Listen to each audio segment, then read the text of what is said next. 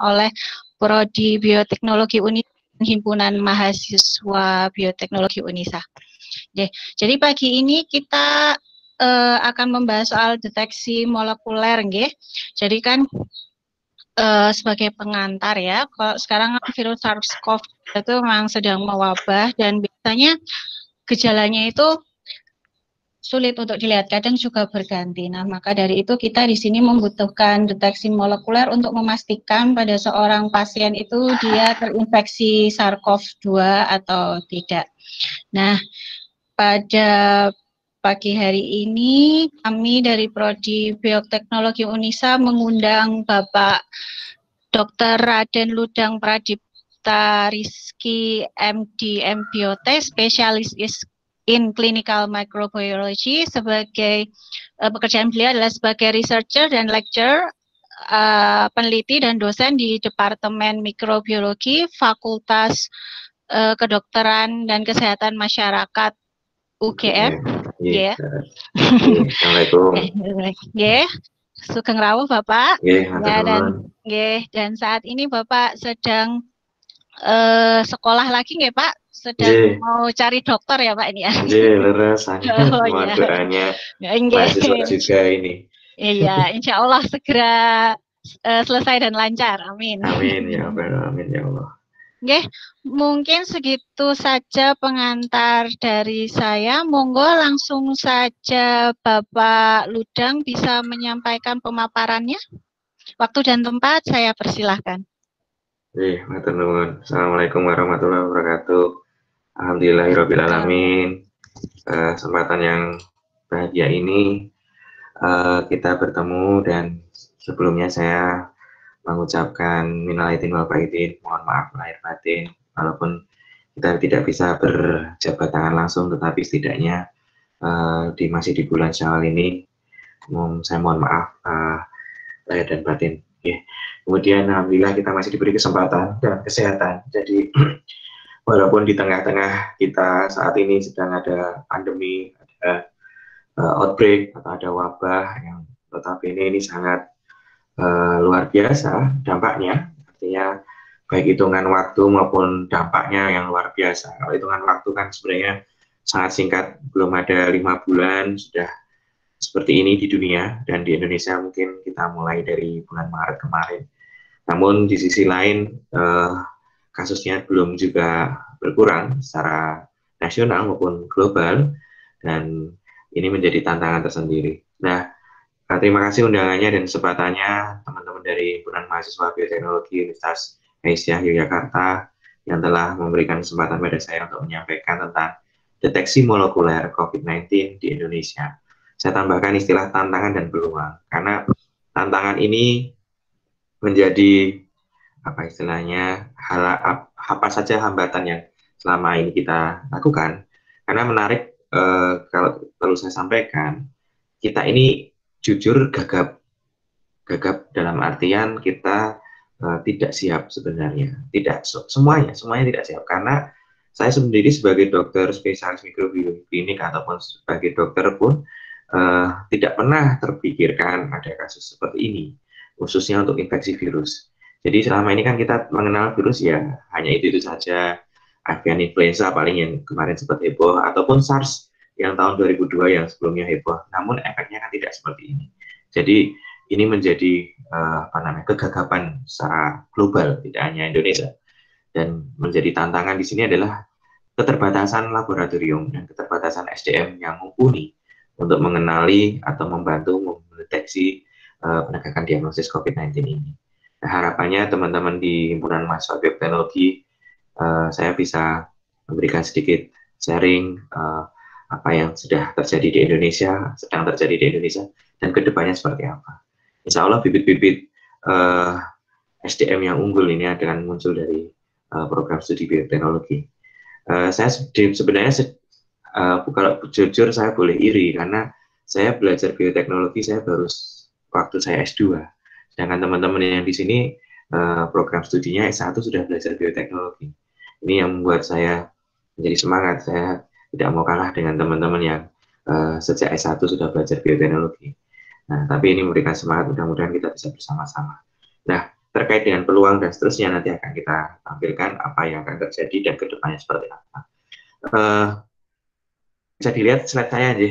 Uh, yang jelas uh, muasal asal mula dari kasus atau kejadian infeksi COVID-19 ini uh, ditengarai terjadi di Wuhan ya. Atau kita sudah sering dengar uh, Wuhan uh, street market atau seafood uh, pasar seafood ya yang mana sebenarnya tidak hanya pasar seafood tetapi hampir semua binatang yang mungkin ini tidak lazim kita konsumsi seperti kata dan kelelawar dan seterusnya. Ini di, dikonsumsi oleh teman-teman atau warga di sana. Karena waktu itu kalau masih ingat uh, di bulan Desember itu merupakan menjelang Imlek di sana. Sehingga hampir sama seperti kita mau lebaran seperti itu. Sehingga uh, mereka akan berduyun-duyun ke pasar untuk belanja untuk berpesta dan uh, berkumpul bersama keluarga. Hanya saja kalau kita perhatikan di sini kan uh, dari segi yang dikonsumsi tidak lazim uh, seperti hanya kita dan apalagi kita muslim mengkonsumsi hal yang tidak uh, kita anjurkan. Nah uh, sedikit saya mereview bahwasanya itu perjalanan pertama kali kasus ada di Wuhan. Dan Wuhan ini merupakan titik tengah sebenarnya. Kalau dari geografis uh, Wuhan ini sebenarnya center di Cina. Karena sebenarnya kalau ibu kotanya Beijing itu terlalu utara Shanghai terlalu timur Guangzhou yang uh, notabene lebih maju itu terlalu selatan dan, dan Wuhan ini ada di tengah-tengah sehingga kalau sampai ada epicentrum atau titik pusat kejadian ada di tengah-tengah ini penularannya jauh lebih uh, cepat dan lebih masif ya. Nah, di sini kita bisa lihat beberapa kota-kota besar akan terhubung langsung dari Wuhan. Nah, kalau kita dengar cerita kronologisnya yang sudah pernah disampaikan, saya hanya mengulang. Sebenarnya secara detail pada tanggal 8 Desember itu pernah dilaporkan terjadinya kasus pertama kali yang simptomnya itu seperti orang kena flu biasa. Makanya dulu sebut disebut dengan Wuhan influenza. Karena influenza seperti hanya influenza, tetapi yang menarik kenapa yang menderita influenza ini kok hampir sebagian besar warga Wuhan dan itu serempak atau waktu dalam waktu yang bersamaan sehingga ada dulu istilahnya Wuhan influenza dan pada tanggal 31 Desember artinya hampir berjalan 2 3 minggu kemudian dilaporkan ada 27 orang yang kasusnya itu berubah menjadi pneumonia artinya eh, pneumonia ini jauh lebih berat dibanding influenza biasa ya. Artinya ada gangguan di fungsi pernapasan, tidak ada di saluran pernapasan bagian atas, namun sudah menginfeksi pada paru-parunya. Nah, pada 1 Januari ini eh, disinyalir karena tadi saya singgung di awal saat sebelumnya, seafood atau pasar tadi itu ditutup karena di tengah raya jangan-jangan dari sana. Artinya eh, ini sudah menjadi catatan atau menjadi perhatian di mana kasus ini sudah mulai banyak ditemukan dengan 27 kasus ini tentunya uh, menjadi kecemasan di sana. Nah, Akhirnya pada tanggal 9 Januari dilaporkan kasus pertama ini meninggal dan terakhir pada tanggal 13 Januari pertama kali kasus itu dilaporkan terjadi di luar uh, daratan Cina. Nah ini menjadi kunci bahwa saya persebarannya sangat-sangat cepat uh, dan tidak mengenal uh, batasan lagi uh, apa namanya daerah ataupun negara. Nah, kalau dari segi epidemiologi pendekatan virologi, ilmu yang belajar tentang virus, ini uh, titik krusialnya adalah di tanggal 10 Januari. Ya, di tanggal 10 Januari, nah, saya, ya, di tanggal 10 Januari ini adalah ditengarai pertama kalinya kita mendapatkan genom atau urutan sequencing dari genom dari virus ini secara utuh. Nah, di sinilah kita bisa meraba-raba sebenarnya karakter virusnya itu seperti apa. Apakah ini virus biasa atau virus luar biasa. Nah, Kemudian setelah itu sehari kemudian juga ditemukan banyak atau beberapa genom yang urutannya mungkin secara uh, lebih uh, detail artinya lengkap ya whole genome. Nah, dan yang tidak kalah menarik uh, kemudian uh, ada penemuan di eh, Cina yang di luar Cina di Australia itu juga uh, isolatnya juga pertama kali ditemukan pada tanggal 28 Januari Nah, kunci yang kedua setelah ditemukan whole genome tadi uh, adalah di tanggal 12 lebih tepatnya itu uh, ikatan ahli taksonomi virus itu memberi nama dengan istilah SARS-CoV-2. Ya, kenapa dikatakan SARS-CoV-2? Karena sebenarnya SARS-CoV-2 ini merupakan uh, mempunyai kemiripan dengan SARS-CoV atau SARS, coronavirus yang sering kali kita sebut dengan severe acute respiratory syndrome, singkatan dari SARS tahun 2002. Kemiripannya inilah yang membuat uh, kita mengasumsikan ini uh, merupakan uh, apa namanya uh, masih tidak jauh dari uh, SARS-CoV sebelumnya, walaupun secara genetik nanti akan saya bahas apa bedanya. Namun setidaknya memberi penamaan ini adalah menunjukkan bahwasanya hampir 80% itu kedekatan homologinya, kemiripannya secara filogenetik maupun secara materi genetik itu uh, mendekati ke SARS uh, pada tahun 2002. Nah, yang menarik adalah uh, virus coronavirus ini sebenarnya lazimnya adalah uh, menginfeksi pada binatang uh, reservoir ya. Hampir 600 jenisnya, tetapi hampir sebagian besar uh, menginfeksi di binatang. Hanya ada tujuh yang dilaporkan menginfeksi pada manusia. Tujuh di antaranya atau tiga di antara tujuh tersebut menimbulkan pandemi. Ya, ini adalah SARS pada tahun 2002, MERS uh, yang Middle East Respiratory yang dari unta itu di tahun 2010 dan yang terakhir ini 2019 kita dikejutkan dengan SARS-CoV-2. Nah, setidaknya ada tiga jenis coronavirus yang menjadi pandemik di atau menimbulkan dampak wabah di dunia. Nah, namun yang menarik adalah WHO menyebutkan SARS-CoV-2 ini sebagai penyebabnya atau patogennya, sedangkan COVID-19 itu sebagai penyakitnya. Jadi jangan sampai kebalik, kalau kita nyebut patogennya, kita nyebut penyebabnya, itu adalah SARS-CoV-2, karena itu penyebabnya virus. Tetapi kalau penyakitnya kita sebut dengan COVID-19. Nah, penegakan molekuler artinya penegakan diagnosis COVID-19 ini ya karena tujuannya adalah mencari apakah ada SARS-CoV-2 di dalam tubuh pasien atau tidak. Nah, sekali lagi tidak lagi menyebut uh, ke suatu negara seperti tadi uh, Wuhan dan seterusnya ini dihindari karena stigma negatif. Kalau menyebut negara nanti rasisme dan seterusnya. Tidak juga menyebut perantaranya hostnya karena memang sejauh ini uh, host ini jarang kita beri nama uh, suatu virus dengan ber, dinamakan dengan nama host atau reservoir yang maksud saya. Nah, ini juga jarang digunakan apalagi uh, kita menyebut suatu daerah atau suatu negara, tentu ini sangat dihindari sehingga WHO menyebutkan istilahnya seperti tadi saya sampaikan. Nah, yang menarik adalah di tahun 2002 ini kita ngarai dari uh, kelelawar semuanya, baik itu SARS 2002, MERS 2002, ini ujung pangkalnya asal muasalnya dari kelelawar. Hanya saja perantara keduanya atau secondary reservoir-nya ini yang uh, berbeda. Nah, yang menarik adalah uh, untuk COVID-19 atau untuk SARS-CoV-2 ini, virus ini sendiri, itu uh, hampir 96% ini kecocokannya, kemiripannya, dia perantaranya adalah dari uh, terenggiling atau pangolin. Sehingga ini menjadi uh, aneh atau menjadi unik atau menjadi apa namanya ketakjuban berbeda dengan sebelumnya. Uh, kalau kita tahu hanya ada onta sehingga wajar kalau ini disebut Middle East atau uh, penyakit respiratori, penyakit respiratori atau penyakit pernapasan Timur Tengah uh, itu juga karena adanya unta, tetapi ini pangolin. Ini yang menarik. Nah, kenapa bisa disimpulkan seperti itu? Tentu pendekatannya dengan cara molekuler, yaitu dengan melihat karakteristik setelah tadi saya sampaikan di awal-awal setelah ditemukan whole genome kemudian dibandingkan dengan uh, apa saja yang ada di uh, NCBI atau uh, database-nya terkait dengan jenis-jenis virus yang sebelumnya ditemukan pada di luar tubuh manusia atau pada reservoir yang lainnya. Nah, yang menarik ingin saya tekankan pada warna merah di sini bahwasanya ini uh, di bulan Januari waktu itu masih simpang siur. Ada yang menyebut dari ular, ada yang menyebut dari kelelawar, ada yang menyebut dari uh, binatang yang lainnya. Nah, ini kadang masih simpang siur karena mungkin waktu itu uh, dari segi kasus juga belum banyak dan whole genome sequencing-nya juga hanya beberapa. Ini Januari 2020, Anda bisa uh, lihat di sini.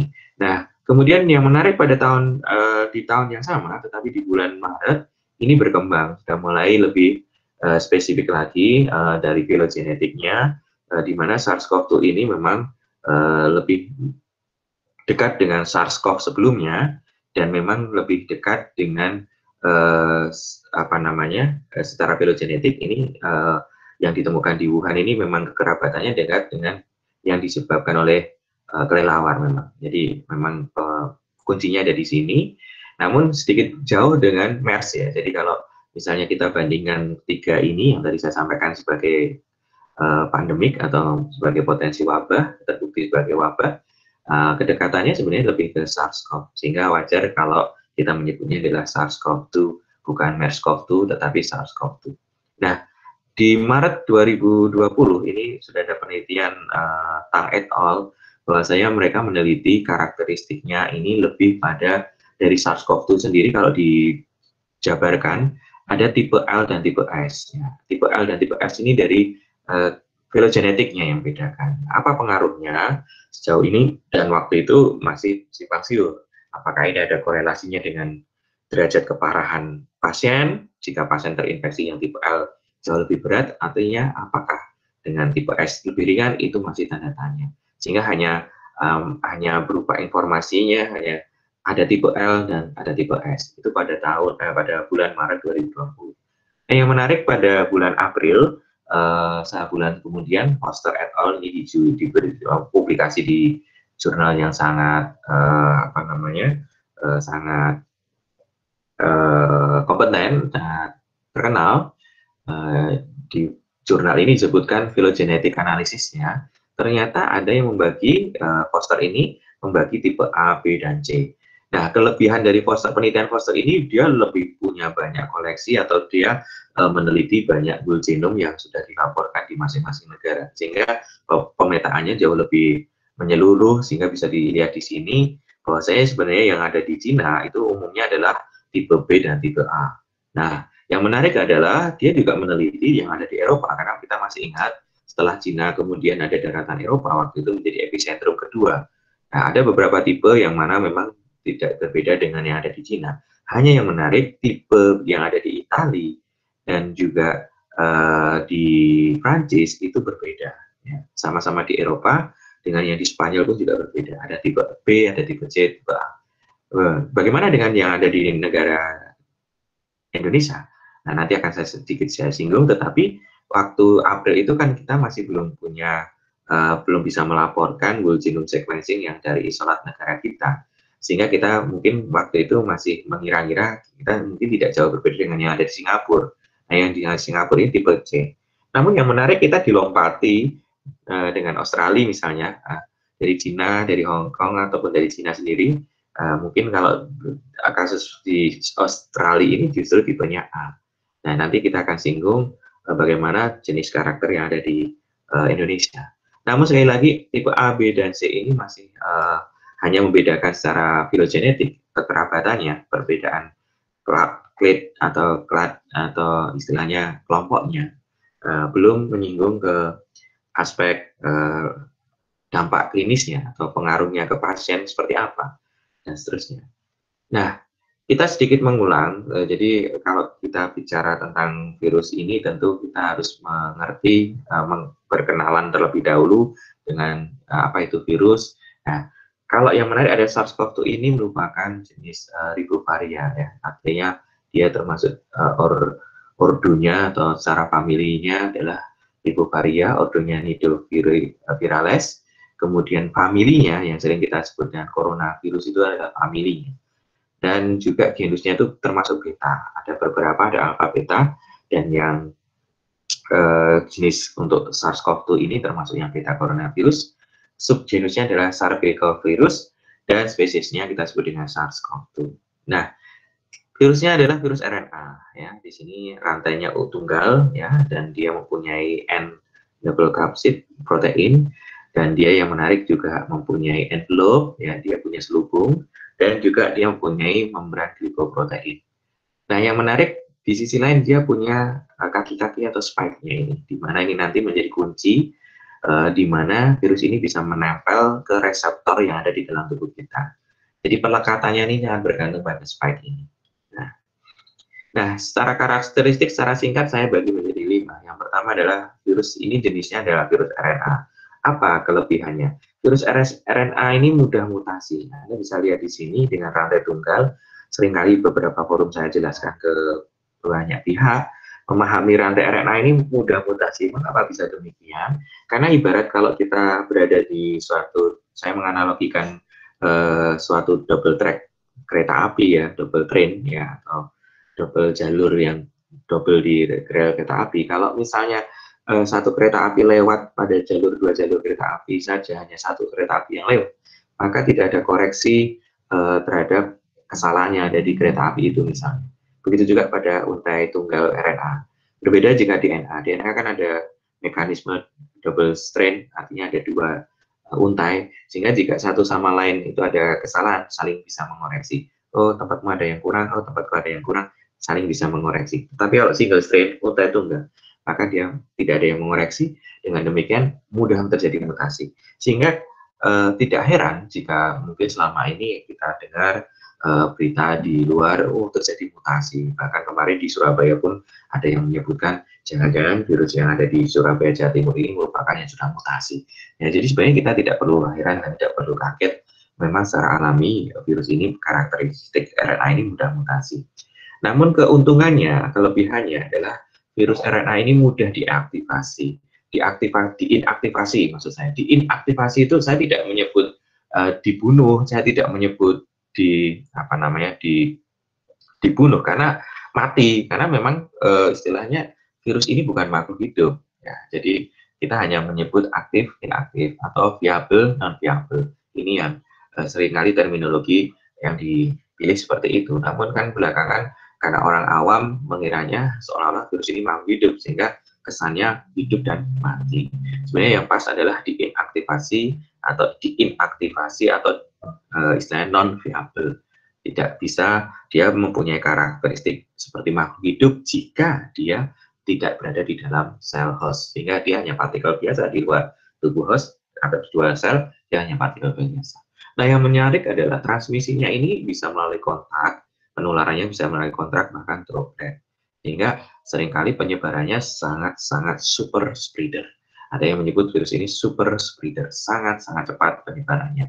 Nah, di sisi lain, virus ini juga bisa bertahan agak lama di lingkungan di luar tubuh kita. Itu 1 sampai 3 hari, walaupun dia hanya sebagai partikel biasa atau kalau Anda cari di jurnal istilahnya formites. Ya, hanya partikel biasa. Tetapi untuk yang ada di lingkungan ini masih belum banyak penelitian yang membuktikan misalnya kalau saya menyentuh tangan, saya menyentuh meja di mana meja itu merupakan meja kerja dan kita melakukan ekstraksi RNA misalnya terus kemudian ada percikan atau uh, pada saat kita mengekstraksi RNA ada tumpahan di situ kemudian setelah kita megang meja itu tanpa menggunakan sarung tangan kemudian kita memegang uh, mata kita hidung dan mulut kemudian terjadi penularan itu masih belum uh, banyak penelitian di sana. Tetapi hanya disebutkan virus ini uh, bertahan satu sampai tiga hari tidak rusak uh, di permukaan uh, lingkungan.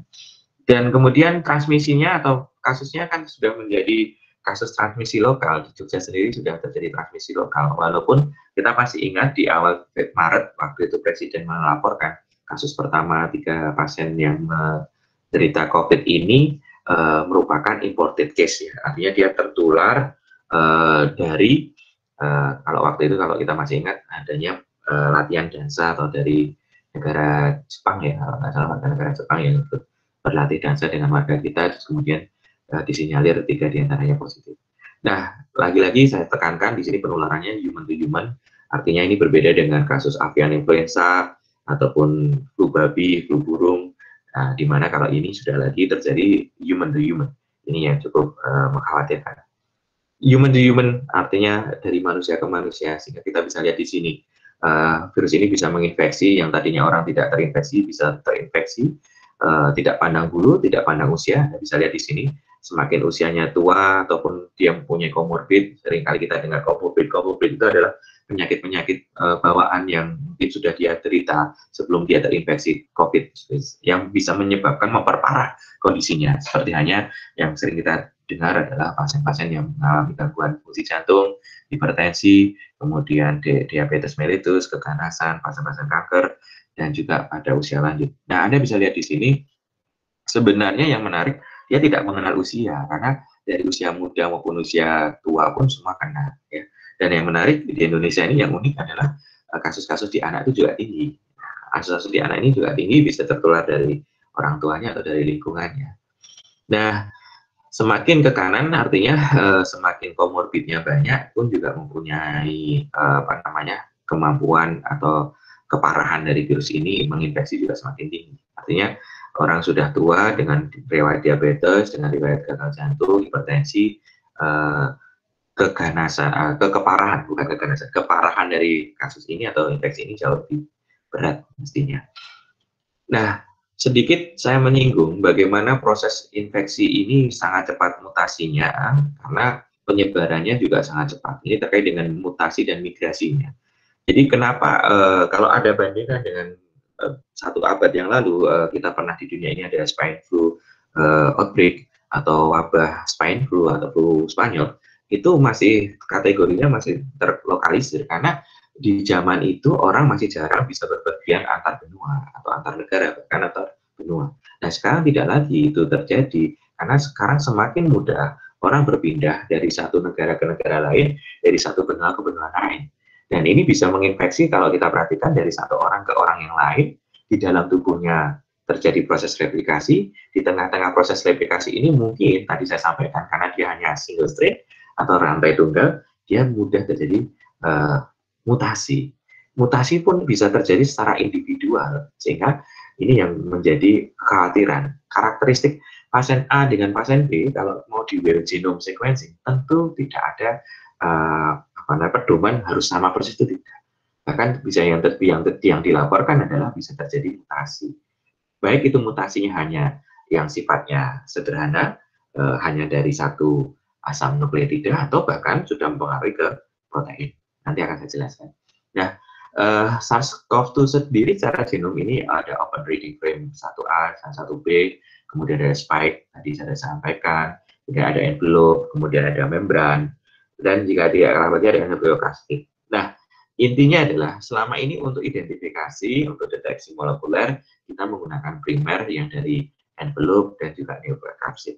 Namun yang menarik, untuk keperluan deteksi uh, antibodi, deteksi antigen ya untuk melihat antibodi respon imun kita itu yang sering kali ditonjolkan adalah spike. Wajar memang karena dia pertama kali melekat ke dalam tubuh kita itu adalah kaki-kakinya atau spike-nya tadi. Sehingga kalau untuk deteksi dini, early detection itu memang spike.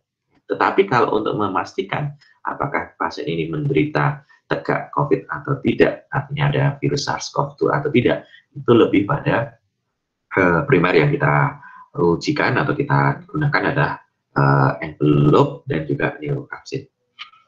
Nah, ini membedakan bagaimana SARS sebelumnya dan MERS-CoV dan juga SARS-CoV-2.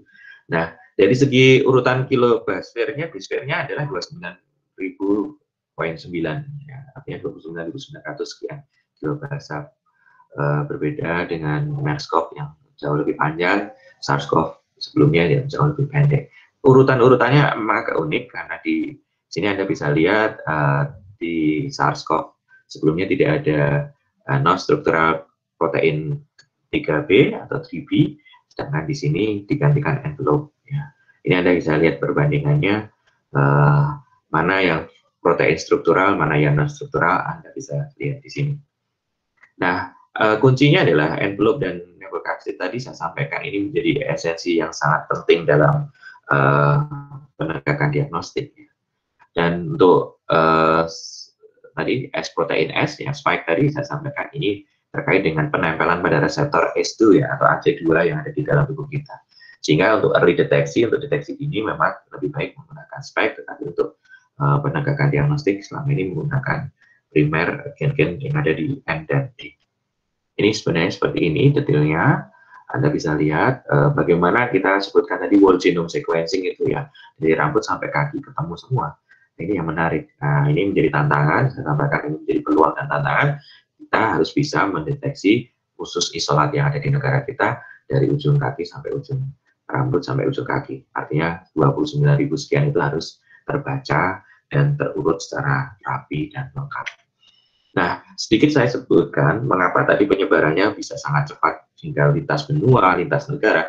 Karena kalau sedikit saya menggambarkan, mengilustrasikan, kita berada di satu pesawat misalnya. Kenapa kemarin pemerintah Menteri Perhubungan mempersyaratkan harus cek terlebih dahulu bahkan belakangan ini tidak lagi rapid test namun harus tegak PCR misalnya untuk ber, ber, apa namanya untuk berpergian dengan menggunakan pesawat misalnya atau dengan menggunakan moda transportasi yang lain. Ini bisa kita lihat.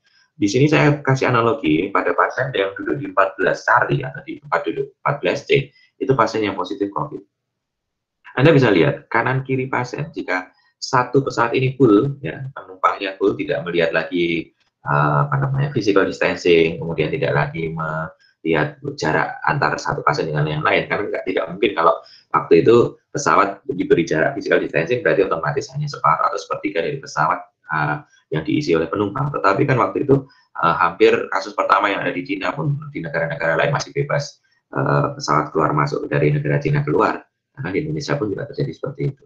Nah kita bisa lihat tempat-tempat duduk yang di sekitar pasien itu juga bisa tertular dengan kemungkinan uh, kontaknya yang sangat tinggi, misalnya yang duduk di sekitarnya. Bahkan yang tidak kalah penting adalah pramugari pramugaranya juga tidak kalah uh, penting. Dia juga bisa tertular karena dia bisa kontak, menyapa, kemudian persilahkan, bahkan berinteraksi secara langsung. Dan kita juga tidak heran jika pasien yang hanya duduk di depan di sekursi satu F apa pun satu A pun juga punya potensi walaupun uh, sifatnya rendah. Ini yang terjadi di pesawat dalam pesawat. Belum saya bicara waktu dia antri tiket, waktu dia antri masuk pesawat, atau waktu dia berinteraksi di bandara. Sangat-sangat potensial. Nah, ini mengapa Anda bisa lihat di sini Januari epicentrumnya ada di Cina warna ungu, kemudian masih di negara lain hanya dilaporkan beberapa saja, bahkan di Eropa pun juga belum banyak kasusnya. Di Amerika sudah ada, tetapi belum menjadi epicentrum. Nah, yang menarik di bulan Februari 2020 epicentrumnya sudah mulai terjadi di Eropa dan juga di Amerika. Jadi ada dua titik epicentrum di luar daratan Cina yaitu di Eropa dan di Amerika. Di bulan Maret menarik lagi karena tidak lagi coba Anda perhatikan Cina ini kempes nih bulannya atau lingkarannya menjadi mengecil. Tapi yang menarik adalah justru di Eropa dan di Amerika ini menjadi epicentrum baru dan juga di Australia. Nah ini yang menarik.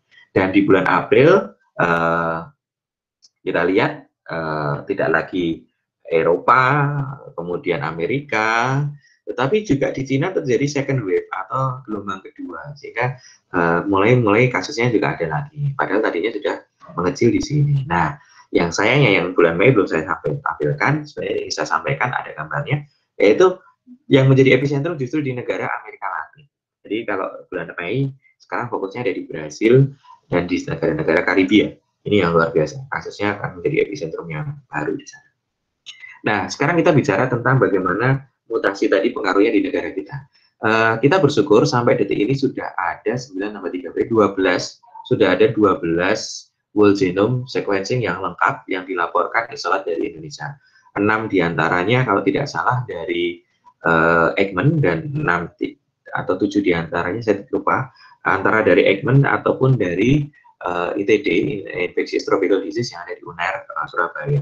Mereka telah berhasil uh, mengumpulkan atau mengurutkan dari secara urutan, secara lengkap pasien eh, pasien-pasien yang ada di Indonesia. Nah, saya akan mengambil tiga saja, uh, tiga saja contoh salah satu pasien yang sudah dilaporkan di G-Site uh, bahwasanya dari sini kita bisa lihat uh, yang paling atas ini adalah salah satu kasus yang menjadi acuan atau menjadi origin uh, untuk menjadi acuan kasus pertama yang dilaporkan di Cina di Wuhan di mana itu menjadi rujukan untuk uh, melihat apakah ada mutasi atau tidak. Nah, yang menarik adalah saya mengambil tiga contoh yang diambil oleh Ekman waktu itu lembaga laboratorium Ekman di Jakarta. Uh, pasien pertama yang ada di Indonesia atau pasien yang dilaporkan pertama dari Indonesia dari Rumah Sakit Pondok Indah.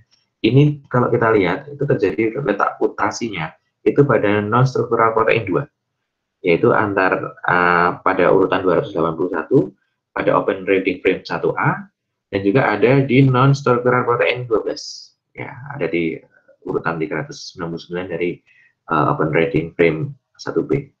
Nah, kasus yang kedua juga terjadi karena mutasinya di non struktural protein type 3 atau tipe 3. Nah, begitu juga pasien yang ketiga ini ada mutasi di spike.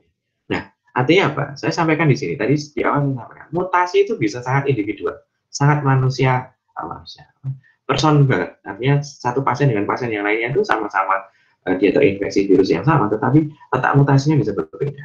Ya, ini yang menarik. Jadi uh, jangan kaget jika RNA ini kalau terjadi mutasi itu tidak bisa dihindari, memang karakter dari virusnya seperti itu. Nah, sekarang pertanyaannya, apakah virus yang ada di Indonesia atau yang ditemukan di Indonesia ini masuk kategori yang mana? E, beberapa membagi menjadi klaster atau grade G, kemudian ada grade S, kemudian ada grade V, ya, atau SVG ini. Nah, yang menarik adalah dari yang ada di Indonesia ini masuk dalam klaster yang uh, yang O atau yang istilahnya other yang mana sebenarnya ini tidak tahu apakah dia lebih ke G atau V atau S. Artinya apa? Dari dominasi yang ada di sampel yang ada di Indonesia yang sudah dilaporkan, walaupun jumlahnya masih sangat sedikit 12 di antara 28 ribu kasus yang sudah dilaporkan, itu kan masih sedikit angka. Tetapi uh, dari 12 yang ada itu ternyata sangat unik. Artinya tidak tidak ada di antara kluster-kluster yang sudah ada. Nah ini contohnya yang ada dilaporkan di ITD Surabaya itu ternyata eh, virusnya ini sudah jalan-jalan ke mana-mana. Jadi yang jalan-jalan sebenarnya orangnya, orangnya kan berjalan, kemudian menulari orang lain. Nah ini contohnya misalnya dari Cina, kemudian ada yang terinfeksi di Cina, kemudian dia di Eropa, di Eropa dia sempat berinteraksi di Italia maupun di Belgia mungkin, kemudian dia ke Amerika, kemudian sempat ke Amerika, kemudian ada orang ini yang tertular di Amerika, kemudian ke Arab Saudi, kemudian dari Arab Saudi ini bisa tertular, makanya kemarin kita sempat was-was ada jamaah yang dari umroh dan seterusnya, barangkali yang dia habis dari luar negeri, kemudian dia masuk ke Indonesia dan diterbuktikan di Surabaya. Ini artinya uh, virusnya itu sebenarnya nggak gerak, tapi orangnya yang gerak. Sehingga uh, kita bisa lihat bagaimana perjalanan, bagaimana alurnya sampai ke Indonesia, itu bisa dilacak. Nah, sekarang kita masuk ke inti dari apa namanya webinar kali ini. Uh, metode diagnostik pada penyakit infeksi saya hanya ini sampaikan. Kalau Anda mempelajari penyakit infeksi untuk mengetahui bagaimana proses infeksi, kalau Anda dirawat di rumah sakit dengan penyakit infeksi, itu ada dua pendekatan. Yang pertama adalah pendekatan patogennya, pendekatan kumannya, pendekatan kausanya, penyebabnya. Bisa secara molekuler, ya, artinya deteksi DNA-nya, RNA-nya atau proteinnya, bisa juga antigennya. Antigennya dari apa namanya patogen itu sendiri. Misalnya kalau virus, ya tadi saya sampaikan kita ingin mendeteksi uh, spike-nya, bagian dari virus uh, uh, SARS-CoV-2, spike-nya yang kita deteksi, karena kita ingin uh, melihat apakah kita terkena atau tidak. Nah, di sisi lain antibodinya, imunoglobulin G atau imunoglobulin M. Seringkali ini digunakan untuk rapid test detection. Artinya kalau Anda selama ini sering mendengar ada rapid test detection ya uh, apa sih yang diuji? Yang diuji itu umumnya kekebalan tubuhnya, respon imunnya. Jadi kalau ada infeksi ke dalam tubuh kita, pasti kita ada perlawanan. Nah, perlawanan pertama adalah IgM. Ya. Kemudian perlawanan yang belakangan agak muncul belakangan ada IgG. Sehingga kalau misalnya ada pasien kemudian di rapid reaktif, ya. reaktif itu artinya ada respon uh, imun yang muncul dideteksi entah itu IgM-nya, berarti kalau IgM berarti pasien ini belum lama terinfeksi, terpapar infeksi virus SARS-CoV-2. Tapi kalau IgG-nya yang positif atau reaktif, IgM-nya negatif, ini memang dulu sudah pernah terpapar. Tetapi kekebalan tubuhnya masih bisa mengenali. Nah, yang menarik kalau dua-duanya positif, ya bisa jadi dia saat ini sedang terinfeksi dan dulu pernah terinfeksi. Ini yang menarik. Jadi ini pendekatan antibodi. Nah, yang ingin kita bahas lebih banyak nanti adalah lebih pada pendekatan patogen deteksi secara molekuler. Nah, tidak antigen tetapi secara molekuler. Walaupun ingin saya sampaikan sebenarnya deteksi antigen pun juga bisa kita lihat dari patogennya. Nah, untuk bicara karakteristik diagnostik dikatakan positif atau negatif tentu ada proses perjalanan yang panjang. Kenapa real time PCR dipilih? Kenapa enggak metode yang lain? Kenapa enggak rapid test? Tentu ada positif negatifnya. Nah, mungkin dari segi uh, prevalensi atau dari segi sensitivitas, spesifitasnya, boleh dibilang uh, real time PCR ini maling uh, menjadi gold standard atau menjadi uh, apa namanya baku emas, uh, menjadi kunci, uh, menjadi gold standard bagaimana mendeteksi atau mendiagnosis pasien COVID-19 dengan real time PCR karena sensitivitas dan spesifitasnya tinggi. Mengapa rapid test itu tidak menjadi gold standard? Ya mungkin karena masih banyak kasus ditemukan positif palsu atau bahkan negatif palsu. Mengapa bisa demikian? Nanti akan saya bahas lebih lanjut. Nah, kunci dalam memeriksa diagnostik adalah Anda nanti jika Anda berada di laboratorium, Anda harus tekankan ada kesinambungan antara pasien, laboratorium, dan juga dokter yang merawat. Nah, ini kuncinya. Nah, ini sebenarnya ingin saya sampaikan. Eh, keberhasilan dalam deteksi atau diagnosis itu punya ada lima paling tidak. Yang pertama adalah tepat pemeriksaan. Tesnya itu mau pakai apa? Mau rapid test, mau PCR, mau LAM, mau NGS, mau CRISPR, atau mau yang lain, nah itu harus tepat dulu tesnya apa. Kemudian tepat pasiennya. Apakah benar-benar pasien yang kita periksa itu memang pasien yang mempunyai gejala klinis yang uh, sesuai dengan apa yang kita apa kita curigai. Kemudian tepat waktunya, tepat interpretasinya, dan setelah nanti 1, 2, 3, 4 ini benar, tentu insya Allah tepat terapinya. Jadi jangan sampai uh, pasien kita uh, rawat dengan obat-obatan yang uh, berbeda dengan atau tidak sesuai dengan uh, apa namanya diagnostiknya. Nah, ini sedikit tentang fase-fasenya.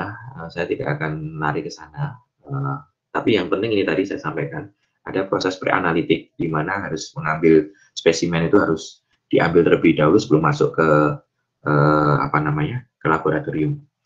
Dan kasus yang paling banyak ditemukan menjadi tantangan di negara kita adalah preanalitik. Sehingga heran tidak heran jika ada uh, negatif palsu pada pasien-pasien PCR yang tadinya positif menjadi negatif atau yang sebelumnya tadi positif menjadi negatif atau sebaliknya negatif menjadi positif itu uh, 90 uh, 46 sampai 8, 68 persen ada di preanalitik pada saat pengambilan spesimen atau hal-hal yang sebelum masuk ke laboratorium. Jika teman-teman di himpunan mahasiswa di bioteknologi kan kebanyakan nanti ada di posisi di sini uh, di analitik karena di laboratorium tapi teman-teman yang ada di apa namanya kesehatan uh, tenaga medis umumnya ada di preanalitik nah teman-teman di bioteknologi uh, di laboratorium juga tidak kalah pentingnya selain di analitik juga di post analitik jangan-jangan nanti pada saat mengerjakan ekstraksi RNA sampelnya kurang sampelnya tumpah alatnya error kemudian tidak ada kalibrasi kemudian Eh, hal-hal uh, yang ini yang menjadi masalah. Di sisi lain nanti juga interpretasinya dalam membaca hasilnya apakah harus dibaca satu orang, harus dua orang itu sangat-sangat subjektif. Uh, pengambilan spesimen mungkin tidak perlu saya jelaskan lebih lanjut. Nah, di negara kita mengenal istilah OTG, PDP, ODP, semua intinya adalah dilakukan pemeriksaannya real time PCR dan dilakukan pada hari pertama dan hari kedua. Artinya selang 24 jam setelah pengambilan pertama. Kenapa harus diambil dua kali? Uh, ini untuk mengurangi atau menghindari negatif palsu. Karena bisa jadi pengambilan spesimen pertama tidak adekuat, tidak tepat pada lokasinya misalnya, atau pasiennya mungkin belum uh, muncul uh, apa namanya virusnya dalam jumlah yang cukup, uh, atau mungkin uh, konsentrasi virusnya juga terambil masih belum memungkinkan sehingga perlu dicek untuk yang kedua atau selang 24 jam. Nah, yang menarik adalah uh, di beberapa spesimen di dalam tubuh kita banyak dilaporkan angka positivity-nya tinggi pada beberapa kasus menggunakan cairan bilas bronkus, artinya pasiennya dikuras ya atau dibilas bronkusnya. Ada juga yang menggunakan sputum. Nah, yang sering kali kita dengar kan swab nasofaring dan faring. Ya. Jadi sebenarnya angkanya juga masih relatif lebih uh, rendah dibanding dengan bilasan bronkus. Nah, ini contohnya ditemukan di mana-mana, uh, di konjungtiva juga ada, walaupun jumlahnya sedikit. Nah, yang menarik adalah devices, ini juga tinggi ya. Kan? Dan devices ini beberapa penelitian menyebutkan justru lebih lama berada di devices. Artinya apa? Uh, virus itu bisa dideteksi hampir lebih dari 30 hari ada di devices. Berbeda dengan nasofaring mungkin hanya bertahan dua minggu, tapi kalau devices ini bisa lebih dari 30 hari. Ini yang tidak kalah penting tadi saya sampaikan, ada preanalitik, jangan sampai dikirim ke lab, rusak. Karena uh, karena saya tadi sampaikan RNA itu sangat ringkih, sangat mudah rusak. Sehingga dia hanya rantai un, untai tunggal sehingga perlakuannya itu sangat apa ya, sangat rigid ya, sangat kaku ya. Harus dalam suhu 2 sampai 8 kurang dari lima hari diletakkan dalam dalam kondisi dingin dan seterusnya. Nah ini menggunakan dry ice jika lebih dari lima hari. Ini yang menjadi kendala di negara kita. Bisa dibayangkan misalnya kalau Anda berada di Mamuju, uh, Sumatera eh, Sulawesi Barat, kemudian labnya itu dikirim ke Makassar, jauh waktunya. Uh, begitu juga di Papua harus dikirim ke Makassar misalnya, jauh-jauh uh, tempatnya dan memakan waktu. Tentu pengawalan dari segi transportnya juga membutuhkan energi yang ekstra. Dan di sisi lain untuk menjaga itu ada yang namanya virus uh, viral transport medium. Jadi virus ini kan rentan ya, tadi rangkih ya bahasa saya, sehingga perlu harus ada media pengantarnya atau media transportnya supaya dia masih bisa kita deteksi sampai lab dalam kondisi yang baik. Di sisi lain tidak hanya medium saja tetapi juga ada mekanisme packing atau pengepakan spesimen yang ini standar WHO ini karena ini kasus infeksius ini menjadi kunci beberapa kargo atau teman-teman yang di apa namanya istilahnya di jasa pengiriman juga harus menekankan ini karena takutnya tumpah entah itu di pesawat entah itu mau dikirim ke bandara dan seterusnya atau perjalanan dari bandara ke lab itu menjadi kunci di sini. Nah sekarang kita masuk ke metode diagnostik berbasis laboratorium. Eh, COVID-19 diagnostik ini yang untuk melihat apakah ada infeksi atau tidak, ada pendekatannya. Yang pertama adalah deteksi virusnya atau respon imunnya. Tadi sudah saya singgung, uh, kalau melihat respon imunnya ya menggunakan rapid test dengan menggunakan darah, melihat antibodinya, lihat apakah IgG IgM-nya, dan ini menggunakan serologi test atau rapid test. Dan ini point of care artinya bisa dilakukan uh, tidak harus di lab tertentu dengan PSL biosafety lab khusus. Nah, itu bisa dikerjakan mungkin bahkan bisa bisa dalam artian dikerjakan di puskesmas, bisa dikerjakan secara rapid massal di suatu lokasi yang sudah ditentukan, makanya istilahnya point of care. Namun kalau itu harus dibutuhkan suatu lab khusus ya seperti hanya PCR, kemudian mal multitop atau metode hibrid metode yang lain atau bahkan DNA sequencing. Ini yang mana virus uh, asam nukleat tidaknya yang kita deteksi. Nah, masing-masing punya kelebihan dan kelemahannya. Namun sejauh ini uh, WHO uh, masih menegakkan bahwa saya real time PCR ini menjadi kunci. Walaupun sebenarnya kalau mau lebih lengkap lagi menggunakan NGS. NGS itu uh, next gene sequencing atau whole genome sequencing. Tapi biayanya jauh lebih berat, lebih banyak dan sebenarnya pendekatannya hanya untuk uh, riset sebenarnya kalau untuk deteksi cukup real time PCR. Nah, riset ataupun apa saja yang bisa kita lihat dari keunggulan NGS. Selain riset, kita juga bisa melihat nantinya riset ini akan dikembangkan untuk uh, kandidat vaksin misalnya, atau kandidat rapid test yang ada di Indonesia misalnya, itu yang sangat berbasis kearifan lokal. Nah, secara umum seperti ini, uh, rapid test itu tidak menjadi uh, gold standar. Nah, selama ini dilakukan, kenapa kok tetap dilakukan? Ya, karena tujuannya adalah untuk uh, pendekatan surveillance atau pendekatan epidemiologi. Menentukan apakah ada wabah atau tidak, kemudian men-tracing nantinya uh, menyaring apakah orang ini yang terpapar dengan pasien positif itu apakah dia mempunyai uh, respon aktif atau tidak, reaktif atau tidak, nah itu saja. Biasanya kalau misalnya dia reaktif, kemudian ditindaklanjuti dengan menggunakan PCR. Tapi kalau dia non reaktif, maka kita tidak lakukan uji tahap lebih lanjut. Namun bagaimanapun orang tersebut uh, siapa pun kita juga tetap diminta untuk isolasi mandiri itu menjadi kunci. Nah, ini yang tadi antibodi saya sampaikan, tapi kita uh, melihat antigen antibodinya kita bisa lihat di sini, tetapi yang ingin saya tekankan lagi, nah intinya begini, mengapa tetap RNA yang menjadi atau RNA PCR yang menjadi kunci? Karena kita bisa lihat di awal-awal fase di hari-hari pertama sampai hari kelima itu positivity-nya masih tinggi pada pemeriksaan real time PCR dibanding IgG IgM. Nah, IgG IgM ini belakangan, sehingga kalaupun orang dengan deteksi rapid test kok munculnya uh, positif reaktif itu pada hari ke-16 misalnya kalau kita asumsikan 91,3 persen IgM-nya positif misalnya reaktif misalnya ya harus kita tidak lanjuti dengan real time PCR karena kita melihat uh, jangan-jangan dia sebenarnya di awal sudah mempunyai gejala tetapi dia tidak merasakan atau di awal dia sudah membawa virus tetapi tanpa ada gejala dia tidak merasakan. Nah ini yang menjadi mengerikan, istilah saya mengerikan karena uh, presimptomatik atau orang-orang yang tanpa gejala tapi dia membawa virus itu ada di mana-mana dan jumlahnya banyak. Ini tadi saya singgung antigen, uh, lagi-lagi saya tekankan pendekatannya adalah spike protein. Nah, WHO sudah menekankan bahwasanya COVID-19 ini tegaknya dengan menggunakan real time PCR Uh, jadi tidak menggunakan uh, atau rapid test detection, mengingat ini settingnya bukan untuk diagnostik tetapi untuk uh, kepentingan penelitian atau pendekatan secara uh, epidemiologi. WHO Indonesia juga mengulang kembali tidak merekomendasikan antibody deteksi rapid test tadi, namun merekomendasikan tetap menggunakan PCR atau molekuler Nah, metode molekuler ini real time PCR ini ada yang bisa point of care, bisa ditenteng atau bahkan bisa lebih apa namanya ringan, tidak harus uh, apa namanya tempat khusus. Contohnya adalah uh, gene expert, misalnya kalau kita sering dengar gene expert ini lazimnya sebelumnya digunakan untuk mendeteksi tuberkulosis atau penyakit TBC. Tapi mesinnya ini bisa digunakan uh, untuk mendeteksi virus SARS-CoV-2 ini dengan mengganti kasetnya atau mengganti cartridge-nya.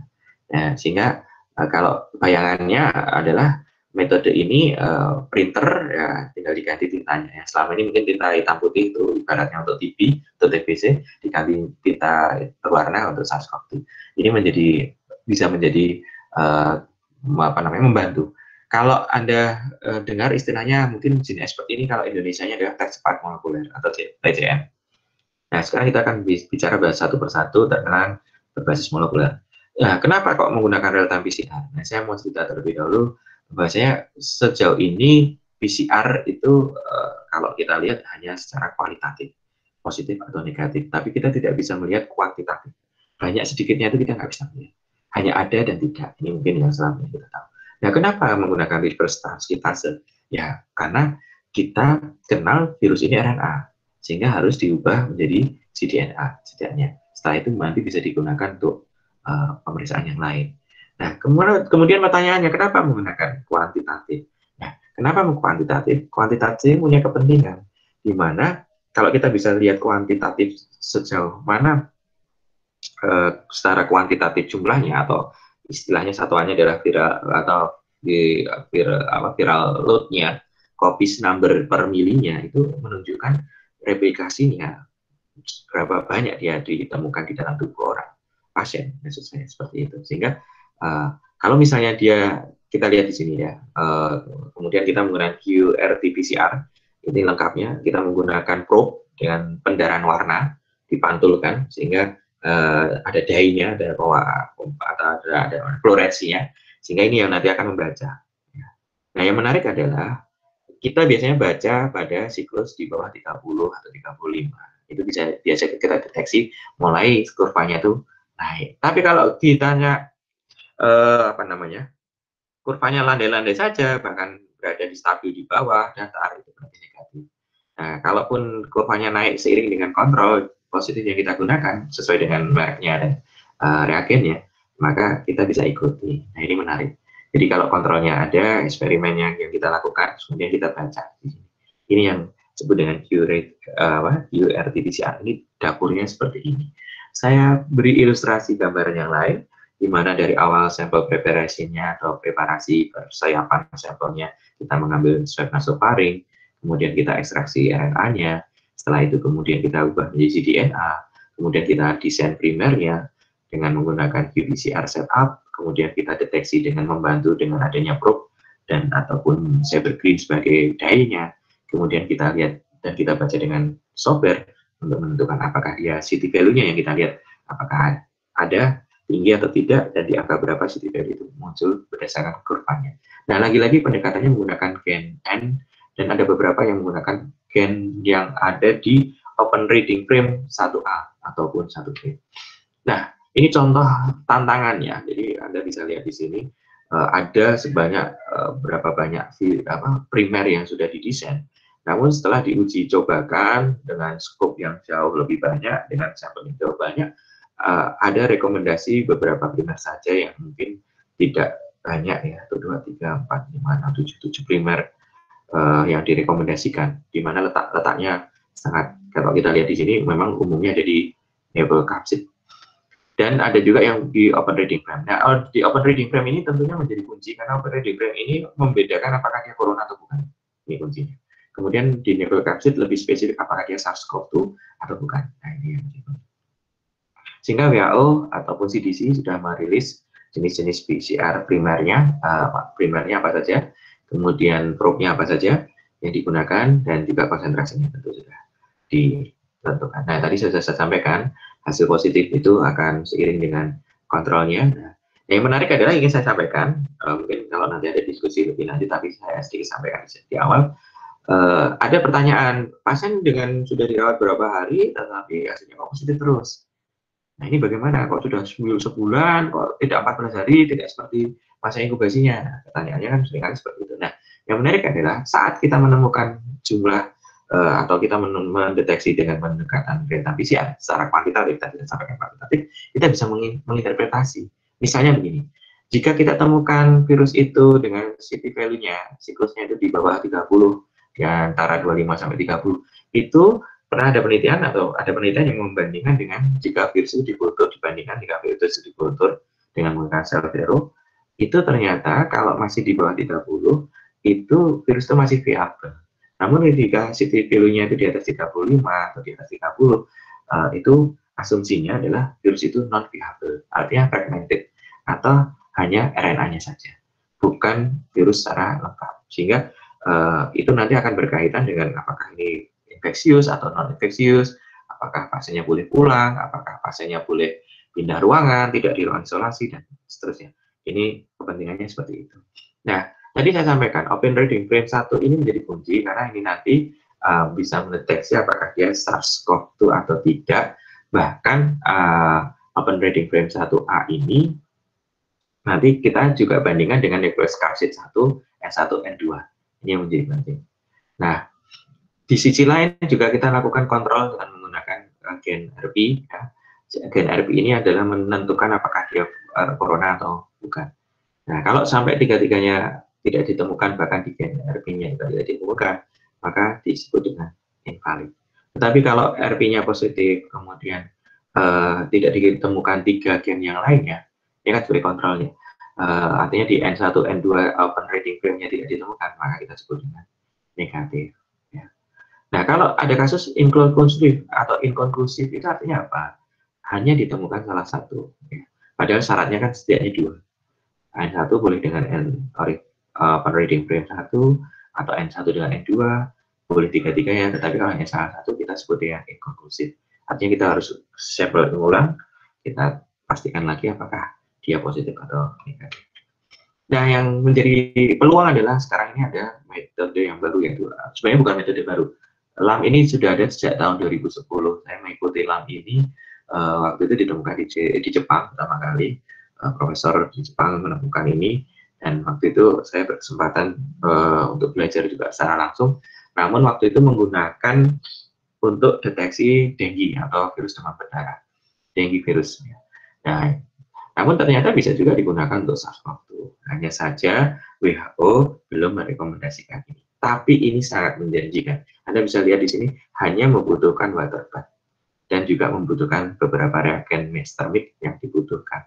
Tetapi kuncinya adalah karena ini sampel biological dan sampel infeksius, maka DNA ekstraksi cDNA-nya, cDNA-nya atau ekstraksi RNA-nya harus dilakukan di laboratorium dengan standar BSL-2 plus ya. Artinya BSL-2 itu biosafety level kabinetnya itu biosafety levelnya itu dua dan itu ada plusnya. Ada plusnya itu artinya eh, sedemikian rupa kalau bisa laboratorium itu bertekanan negatif di ruangan itu sehingga mengurangi paparan atau uh, transmisi atau penularan.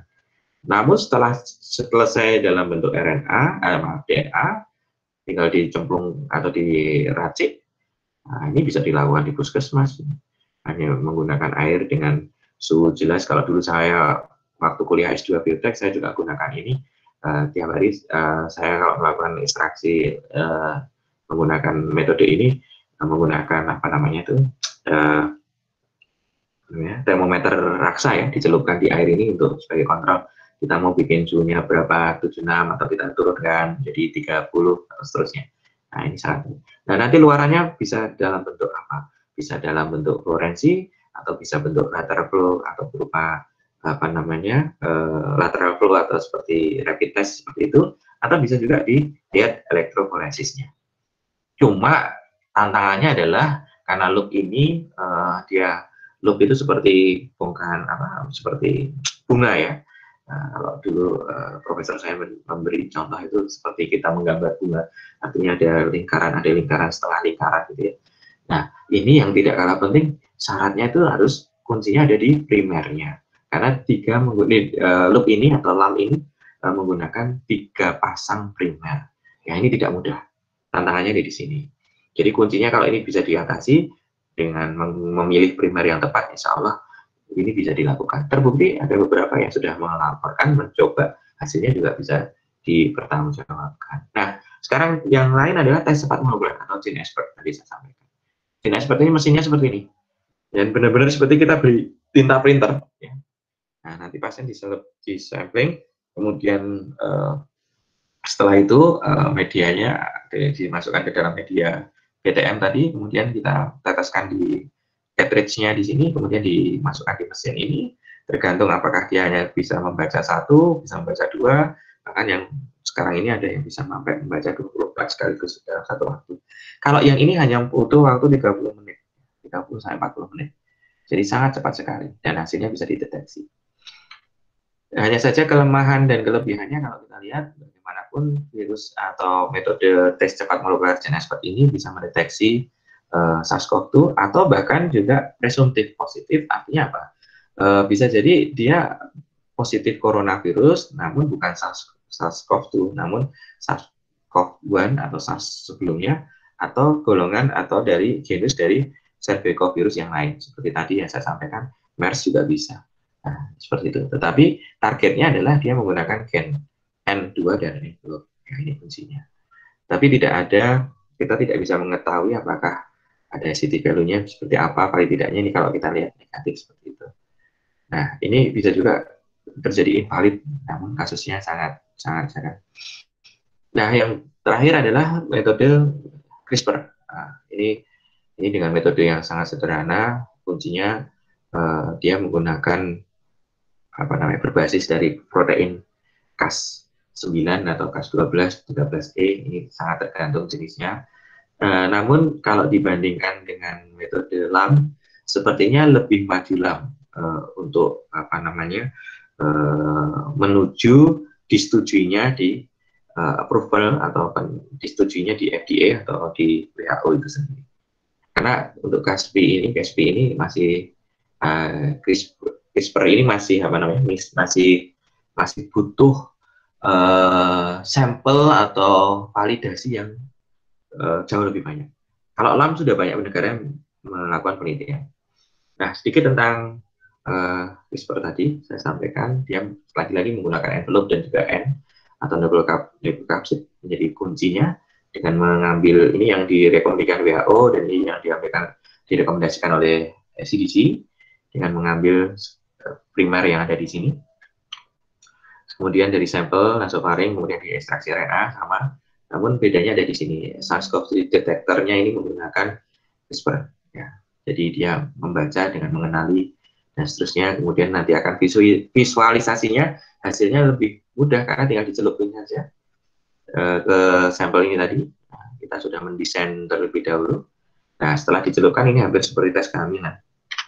Seperti ini hasilnya kontrol bandnya yang kita baca, apakah dia positif atau dia negatif. Ini kita lihat uh, dari segi kuantitatifnya kita ikuti, kapan tebal bandnya, kapan tipis, positif negatifnya, kita bisa lihat deteksi bandnya di sini. Dan seterusnya, dan lagi-lagi ini ada yang juga mendesain pada set menggunakan primer S, ada juga yang menggunakan primer open reading frame 1AB, ya ini menjadi kunci. Sebenarnya ini prinsipnya mudah sebenarnya, cuma kondisinya adalah kita tuh tantangannya ada di sini ekstraksi RNA ini. Yang nggak bisa dilakukan di puskesmas nggak bisa dilakukan di rumah sakit. Jadi sebenarnya kalau sebelum dan setelah uh, ekstraksi RNA sebenarnya bisa kita siasati. Nah ini yang serangkumannya adalah seperti ini. Ke depan bahkan ada yang menggunakan nano sequencing dan uh, menggunakan whole genome sequencing atau NGS lagi-lagi harus dalam bentuk cDNA tentunya untuk bisa ke arah sini namun untuk ekstraksi RNA ini bisa menggunakan langsung dengan menggunakan CRISPR tadi saya sampaikan. Ini bisa disiasati, tetapi lagi-lagi poin di sini yang saya sampaikan, ekstraksi RNA ini sangat-sangat mempunyai potensi penularan yang tinggi karena kita bekerja di lab, kita punya resiko yang juga tinggi pada saat ekstraksi RNA. Banyak kasus uh, sering kali kita dengar uh, bekerja di laboratorium di luar negeri, bahkan di Indonesia kemarin juga ada yang heboh uh, di satu laboratorium juga terkena infeksi COVID, walaupun kita tidak tahu apakah karena dia bekerja atau dia tertular di luar tempat dia bekerja. Oleh karena itu, APD-nya kalau bisa efisien dan seefektif mungkin, sehingga tidak perlu orang yang membawa spesimen menggunakan APD level 3 atau orang yang mengeprint hasil menggunakan level APD level 3, tetapi yang paling penting adalah orang yang bertugas terutama pada saat ekstraksi RNA tadi karena ekstraksi RNA itu benar-benar memadatkan memadatkan mencari uh, seberapa banyak RNA namanya juga isolasi RNA sehingga orang yang bekerja di sinilah yang harus menggunakan APD level 3 selebihnya kalau orang yang membuat master make kemudian orang yang bekerja di uh, apa namanya validasi di laboratorium baca PCR-nya dan seterusnya saya rasa APD-nya berbeda. Sehingga ini menghemat atau mem merasionalisasikan penggunaan APD sehingga tidak kita tidak boros menggunakan APD karena kita tahu siapa punya peran apa dan siapa harus pakai. Dan sedikit sebagai pengantar penutup adalah eh, bahwasanya kita harus ingat di lingkungan itu juga dia bisa bertahan lama. Sehingga dengan demikian setting laboratorium itu harus sering-sering dibersihkan dengan disinfektan dengan eh, senyawa-senyawa uh, disinfektan yang benar-benar bisa merusak RNA itu sendiri. Sehingga misalnya kalau di meja kerja mejanya berbahan aluminium, uh, kita bisa lihat di sini 2 sampai 8 jam dia masih bisa bertahan di situ. Kemudian kita bekerja dengan menggunakan sarung tangan berbahan latex, dia bisa menempel di sarung tangan kita dalam waktu lebih dari 8 jam. Begitu juga di tempat yang kaca, misalnya kita menggunakan gelas ukur atau menggunakan alat-alat yang berbahan kaca, um, Petri dan seterusnya misalnya, kita juga harus lihat di situ. Uh, dan di udara pun juga bertahan agak lama virus ini. Ini kesimpulannya, ini yang sedang kita kerjakan di Indonesia dan juga ditambah tadi saya sampaikan tercepat molekuler, kemudian LAM itu sendiri sangat menjanjikan, ya. Mudah-mudahan dalam waktu dekat ini uh, di ACC, di WHO maupun di uh, Kementerian Kesehatan sehingga bisa kita terapkan, setidaknya menjadi uh, solusi CRISPR maupun NGS juga menyusul kemudian dan ini masih dalam proses adalah mikro NRM. Ya, ini uh, magnetic IC, jadi sangat-sangat nanopartikel, sangat-sangat kecil, tapi dia mem mem bisa mendeteksi produk dari PCR. Yang tidak kalah penting menjadi kesimpulan saya adalah waktu, kapan kita mengambil spesimennya. Jadi jangan sampai kita salah. Kita mau PCR, tetapi kita mengambilnya uh, tidak tepat waktunya. Misalnya di minggu ke-6 baru kita mau PCR, maka uh, pendekatannya kalau sudah di minggu ke-6 kita lihat di sini grafiknya banyak kasus minggu ke-6 ini memang sudah jumlah virusnya tidak uh, begitu tinggi di dalam tubuh kita karena sudah terjadi respon imun, sudah ada terapi khusus misalnya uh, untuk mengatasi infeksinya itu sendiri sehingga antibodi kita bisa menekan. Justru sebaliknya kalau kita tujuannya untuk melihat respon antibodi, justru kita tarik ke belakang. Namun kan tujuan kita mendeteksi pasien ini adalah adalah secepat mungkin kita deteksi, secepat mungkin kita apa namanya eh, kita manajemen atau kita tangani, kita rawat sehingga secepat mungkin pasien itu bisa sembuh dan secepat mungkin pasien itu bisa diisolasi tidak menularkan ke orang yang lain. Mungkin itu yang bisa saya sampaikan. Eh, kurang lebihnya mohon maaf terlalu panjang, tapi mudah-mudahan ini bisa memberi manfaat bagi kita semua. Uh, saya sangat terbuka dan saya menunggu diskusinya uh, lebih lanjut. Terima kasih, kurang lebihnya mohon maaf. Assalamualaikum warahmatullahi wabarakatuh. Waalaikumsalam warahmatullahi wabarakatuh. Nggih, terima kasih Pak Ludang menarik sekali nggih pemaparannya. Ternyata banyak sekali metode diagnostik yang sekarang sudah dikembangkan. Uh, malah mungkin pertanyaan pertama uh, dari saya ya mungkin nanti. Ini untuk Bapak, Ibu dan teman-teman dapat mengajukan pertanyaan melalui kolom chat. Kemudian bagi peserta umum yang dari luar prodi bioteknologi monggo untuk mengisi kuesioner nanti setelah mengisi kuesioner kami akan mengirimkan sertifikatnya kepada Bapak Ibu sekalian. Oke, Pak Ludang. Malah tadi saya tertarik ternyata kok kalau misalnya di feses itu bisa bertahan 35 hari ya Pak? Iya, iya. Nah, apakah ada metode diagnostik? Kalau yang kita tahu sekarang kan dari swab dan pengambilan darah, apakah ada metode diagnostik itu yang mengambil dari sampel feses Pak sekarang? Iya, ya. Jadi, jadi begini, uh, ini sering kali ditanyakan teman-teman di rumah sakit ya, dokter-dokter yang merawat. Artinya begini, uh, uh, saya akan cerita terlebih dahulu atau saya jelaskan terlebih dahulu bahwasanya virus ini itu bisa menginfeksi ke tubuh kita itu dia harus mengenal reseptor yang ada di dalam tubuh kita. Nah yang menarik adalah tadi sudah saya singgung sedikit S2, S2 atau AC2 itu adalah salah satu uh, reseptor yang mana dia bisa mengenali dalam tubuh kita. Nah, S2 ini di awal-awal seperti kasus-kasus di awal-awal di bulan-bulan sebelumnya itu sering kali kita tahunya hanya di paru-paru atau di pernapasan. Namun ternyata S2 ini itu sering kali ditemukan di mukosa. Sehingga tidak heran jika mukosa itu termasuk mukosa yang ada di saluran pencernaan. Sehingga tidak heran gejala klinis pasien COVID itu juga tidak hanya sesek, tidak hanya gangguan pernapasan, tetapi juga gangguan pencernaan. Sehingga kalau ada orang diare, kemudian demam, nah, jangan-jangan juga kita tidak bisa menyingkirkan itu bukan COVID, tapi kita pantau seperti itu. Nah, saya ingin cerita terlebih dahulu di situ mengapa feses bisa ditemukan uh, RNA-nya di sana atau virusnya ada di sana. Nah, justru yang menarik adalah beberapa kasus yang notabene merawat pasien-pasien balita, pasien-pasien bayi misalnya, pasien saya pernah dulu di PKU itu pasien baru 12 hari itu minta di swab uh, nasofaring dan kita. Itu kan sangat susah sekali. Kapas lidi steril atau dakron yang kita gunakan untuk swab itu juga dengan ukuran hidung pasiennya aja hampir besaran kapasnya. Jadi kita harus modifikasi dan seterusnya dan bahkan mungkin tidak nyaman ke pasien ya karena pasien bayi. Soalnya kalau pasiennya terpasang ventilator dan seterusnya. Sehingga waktu itu saya sampaikan, saya diskusikan dengan spesialis anak, baik itu di Sarjita maupun di PKU, Kenapa kita nggak swab rektal? Swab rektal itu uh, tujuannya juga bisa melihat apa namanya uh, ada tidaknya virus walaupun sebenarnya uh, yang kita lihat spesimennya adalah di tadi. Nah, sehingga uh, namun ini belum lazim. IDAI atau Ikatan Dokter Anak Indonesia juga belum merekomendasikan itu. WHO pun juga masih melihat antara nasofaring maupun orofaring.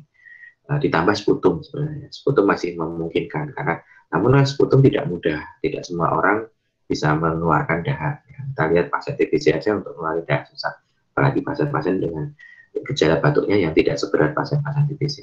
Nah, tetapi tidak menutup kemungkinan di feses itu bisa ditampilkan dengan swab rektal, bahkan ada juga dengan di urin juga. Nah, tadi saya sampaikan ada yang mengirim spesimen urin, tapi itu belum lazim. Tapi itu bisa kita kerjakan dan lakukan seperti itu.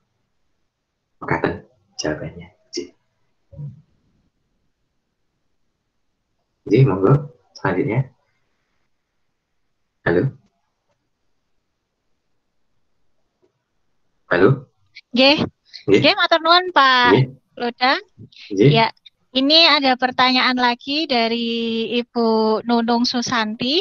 G. Yang pertama, apakah hasil pembacaan dengan PCR untuk SARS-CoV-2 dengan strain berbeda, misal karena mutasi akan bisa terlihat jelas, Pak? Monggo. Ya. Yeah. nah ini menarik sekali. Uh, saya sangat senang dengan pertanyaan ini. Jadi saya justru ada hal yang terlewatkan yang perlu saya jelaskan. Jadi begini, mutasi tadi sudah saya sampaikan, itu lazim. Kita nggak perlu heboh, nggak perlu kaget. Nah, tetapi yang jadi masalah adalah mutasinya ini letaknya ada di mana dulu. Kalau sampai letaknya itu berada pada properti, properti atau bagian dari virus itu yang sangat urgent atau important, yang penting. Misalnya tadi mutasi kok letaknya ada di gen N misalnya, atau gen E misalnya. Dan itu terjadi banyak di situ, mutasinya tinggi di situ. Nah, kita patut apa? Kita patut waspada, kita patut cemas. Nah, ini akan mempunyai pengaruh pada saat mendeteksi. Nah, sejauh ini ingin saya sampaikan, letak mutasinya itu sampai 44 ribu whole genome yang sudah diteliti, 44 ribu ya. Artinya, mama, 4.400, mama, 4.400 whole genome yang sudah diteliti, letak mutasinya itu kita syukuri Alhamdulillah tidak pada lokasi-lokasi gen yang mempunyai fungsi yang penting dalam virus itu. Artinya mutasinya tidak tinggi pada gen N, tidak tinggi pada gen E, tidak begitu tinggi pada gen S, sehingga uh, pertanyaan tadi apakah hasil pembacaan diagnostik molekuler dengan PCR untuk SARS-CoV-2 ini beda strain terkait dengan mutasi antara pengaruh?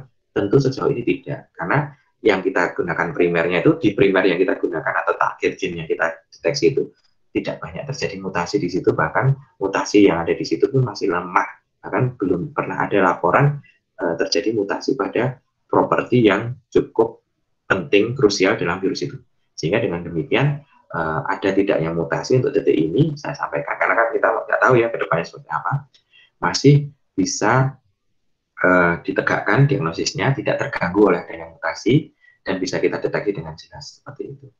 Sehingga ke depannya bahkan untuk mencari vaksin, untuk mencari rapid uh, test atau mencari diagnostik atau bahkan mencari antivirusnya itu tidak akan terganggu dengan adanya mutasi karena sejauh ini masih dilaporkan letak-letak mutasinya kita syukuri tidak pada properti yang cukup important atau cukup penting uh, krusial di, di virus itu mungkin itu bisa menjawab.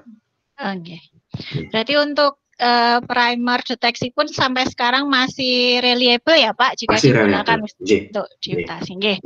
Kemudian uh, mengacu pada WHO dan CDC ya kalau saya boleh saran itu yang yang yang masih sejauh ini masih reliable, masih conserve, masih tidak berubah di situ. Oke, lanjut Desmond. Kemudian yang kedua, apakah berdasarkan karakteristik virus SARS-CoV-2 ini yang mungkin mudah bermutasi, apakah mungkin jika seseorang yang pernah terinfeksi kemudian dinyatakan sembuh bisa terinfeksi lagi virus yang sama tapi dengan strain berbeda? Ya, ini menarik. Pertanyaannya Bu Nunung ini menarik sekali. Jadi uh, ada beberapa penelitian uh, apa namanya menyimpulkan itu uh, setidaknya ada ada tiga tiga tiga hal uh, uh, dalam menyikapi uh, atau saya ingin menjawab pertanyaan kedua ini. Yang pertama adalah orang itu bisa jadi terinfeksi kembali atau dengan istilah reinfeksi. Reinfeksi itu artinya apa? Dia sudah dinyatakan sembuh, dinyatakan sembuh itu syaratnya cukup berat. Artinya dalam mendeteksi uh, RT-PCR dua kali dalam waktu yang berturutan itu tegak negatif. Ya. Sama seperti waktu tadi menegakkan diagnosis harus dalam dua kali berturut-turut selang satu hari atau 24 jam dalam pemeriksaan dua kali positif berturut-turut itu juga di awal untuk negatif pun juga sama. Kalau positif mungkin bisa jadi cuma sekali nggak masalah, tetapi untuk menyatakan itu sembuh itu harus dua kali uh, pemeriksaan dalam selang satu hari yang mana hasilnya berturut-turut negatifnya berturut-turut. Jadi kalau misalnya negatif kemudian selang sehari kok positif itu belum bisa dikatakan sembuh. Nah ini kalau tadi dinyatakan sudah sembuh karena definisi sembuh itu seperti itu dari Kementerian Kesehatan WHO sehingga dia pulang misalnya. Nah, kita nggak bisa menentukan apakah dalam perjalanan dia keluar rumah sakit misalnya. Setelah dokternya bilang boleh pulang monggo silahkan dia naik becak eh nggak tahunya tukang becaknya dia membawa positif atau membawa virusnya tapi dia belum pernah cek dia positif atau tidak dia tertular misalnya. Yaitu yang disebut dengan reinfeksi jadi dia bisa tertular dari orang lain. Tetapi di sisi lain ada penelitian yang menarik di Korea Selatan. Itu ada satu penelitian pasiennya itu benar-benar setelah dinyatakan sembuh itu dikarantina masih dia tidak boleh terpapar oleh siapa pun. Bahkan dengan orang-orang yang uh, curigai OTG ataupun apa pun. Tetapi ternyata dalam kurun waktu beberapa hari atau beberapa minggu itu dia terjadi infeksi lagi. Sehingga ada ada dua hipotesis yang tadi pertama itu reinfeksi, yang kedua ini reaktivasi. Nah, ini menarik. Reaktivasi itu apa? Artinya virusnya itu masih ada sebenarnya di dalam tubuh kita, tetapi virus uh, viral loadnya tadi jumlah konsentrasinya di dalam tubuh kita itu sedikit atau istilahnya dorman, dia hanya sembunyi saja. Kalah dengan kekebalan tubuh kita. Ini hampir sama kasusnya kalau kita membahas herpes. Herpes itu kan pernah ada kasus, herpes itu kan juga recurrent ya, bisa kembali kambuh. Nah, tapi tadinya dia hanya menginfeksi pada permukaan kulit kita, misalnya di lengan atau di tangan misalnya. Tapi semakin usia tua kita kemudian di tengah-tengah eh, kita pada saat usia lanjut misalnya atau beberapa tahun kemudian kita terinfeksi herpes lagi. Nah ini yang menarik. Apakah terjadi reaktivasi? Ini masih belum bisa dibuktikan. Apakah terjadi reinfeksi? Kalau reinfeksi pasti mungkin terjadi. Artinya tidak menutup kemungkinan orang terinfeksi lagi. Ah, walaupun sebenarnya kalau ditanya, itu kan sudah ada kekebalan tubuhnya, itu kan kekebalan tubuhnya bisa menginfeksi. Nah, sejauh ini, apakah kekebalan tubuhnya itu bisa menginfeksi pada strain yang berbeda jika terjadi mutasi? Itu belum ada penelitiannya. Karena sekali lagi, saya katakan tadi, menjawab pertanyaan pertama, letak mutasinya itu belum pada properti yang sangat krusial. Sehingga uh, tidak akan mempersulit kita sebenarnya. Ini yang patut kita syukuri. Sehingga kalau orang terinfeksi lagi, mestinya jangan-jangan dia terinfeksi lagi bukan berarti uh, dia tidak ada daya tubuh, tapi bisa jadi daya tubuhnya lemah, gitu, jadi seperti itu. Dan kemudian karakteristiknya yang ketiga tadi, ah, ini yang menarik. sekarang ada kasus yang beberapa minggu uh, baru minggu kemarin baru minggu kemarin itu dibahas uh, di Jogja pasien-pasien uh, yang prolong atau pasien yang dirawat inap dalam waktu lebih dari sebulan atau bahkan ada yang lebih dari 14 hari tapi masih positif terus nah ini ada apa nah kita menyimpulkan tadi itu kalau kita pendekatan deteksi molekuler kita lihat sebenarnya city value-nya atau city, city value-nya yang ada di real time PCR itu. Ada penelitian yang menyebutkan tadi sudah saya sedikit saya singgung uh, city value-nya kalau sudah terlalu tinggi atau di atas 20 ya di atas 30 35 itu kalau misalnya apa namanya ekstraksi RNA-nya itu kemudian kita produk PCR-nya itu kita tanam atau kita uh, infeksikan pada sel uh, viru atau sel host atau kita sel lain atau kita bikin sel sel media sel untuk menginfeksi itu. Ternyata dia tidak viable. Artinya dia tidak bisa replikasi di situ. Nah, besar kemungkinan adalah RNA seeding. RNA seeding itu artinya virusnya ada tetap replikasi tapi dia tidak bisa menginfeksi virus nah ini yang masih tapi kan kita PCR tetap aja positif masih ada. Atau fragmented atau bisa jadi uh, hanya RNA-nya di gen-gen yang itu yang bisa terdeteksi, tetapi jumlahnya tidak banyak sehingga uh, besar kemungkinan kalau misalnya karena kemarin di Singapura sudah ada rencana, saya nggak tahu apakah dijalankan atau tidak, jika ada pasien lebih dari 11 hari PCR-nya masih positif, tapi klinisnya membaik, laboratorium yang lain membaik, radiologinya membaik, tidak ada keluhan, tapi lebih dari 11 hari atau lebih dari dua minggu, maka ada kemungkinan diboleh pulangkan, tapi diisolasi di rumah tidak dirawat di rumah sakit. Namun kalau kita sendiri di Indonesia masih lalu uh, risikonya riskan kalau melakukan hal itu karena kita belum punya penelitian seperti ada di Singapura. Ya, dan kita juga tidak bisa memastikan pasien itu nurut isolasi atau tidak itu yang kunci. Dan kita juga tidak bisa memastikan orang-orang di sekitar pasien yang dikatakan sembuh itu juga terus kemudian dia masih tetap menjaga diri atau tidak. Ini yang perlu diwaspadai seperti itu. Uh, ini yang menjadi mengapa kita masih uh, apa namanya masih belum bisa mencontoh Singapura atau di Kanada yang sudah melakukan penelitian seperti itu. Mungkin itu yang bisa saya jawab untuk uh, apa namanya pertanyaan kedua dikaitkan dengan sembuh bisa terinfeksi lagi mungkin bisa. Tetapi apakah ada kaitannya dengan mutasi? Saya jawab sejauh ini belum ada penelitian yang mengatakan karena letak mutasi itu masih pada properti yang tidak krusial di virus itu. Mungkin itu. Oke matur nuwun Bapak. Mungkin ini ya ibunya ini juga melihat ada beberapa kasus yang akhirnya seperti di Korea Selatan menjadi second wave gitu ya, ya Pak ya. Iya, iya, ada ya, ya. Uh, reaktivasi dan yang lain-lain. Reaktivasi okay. bisa jadi atau reinfeksi karena sekolah dibuka ya. langsung. Itu kalau nggak salah sekolah atau bar atau diskotik yang dibuka saya lupa. Itu hanya satu malam terus mereka pesta dan hmm. dari situ menjadi epicentrum baru lagi. Ini sangat mengerikan. Hmm, yeah. Artinya memang sebenarnya hanya gara-gara satu orang masih terinfeksi, kemudian dia bercampur, berkerumun, ya tidak melakukan uh, physical distancing, dia bisa menularkan. Ya ini makanya kita juga hati-hati betul memutuskan kapan kita ibadah dibuka, sekolah dibuka itu hati-hati betul kita kita takutnya adalah uh, second wave-nya. Sebenarnya trennya di Jogja kan sudah mulai turun. Nah, betul tadi ya sampaikan seperti itu. Kita belajar dari Korea. Iya. Yeah. Kemudian pertanyaan selanjutnya dari Hamiawati Alfaruki.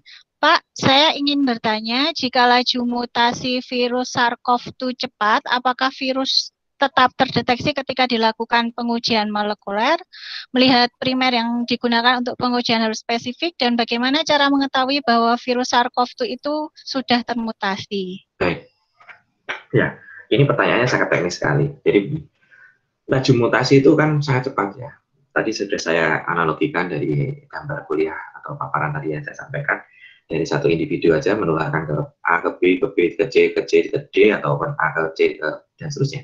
Itu pun kalau bahkan tadi saya contohkan uh, whole genome atau isolat yang dari Indonesia saja yang utuh yang lengkap saya bandingkan satu dua tiga aja dari 12 saya cuma ambil tiga yang Pondok Indah sama yang dari Ekman itu uh, itu pun letak mutasinya kan ada.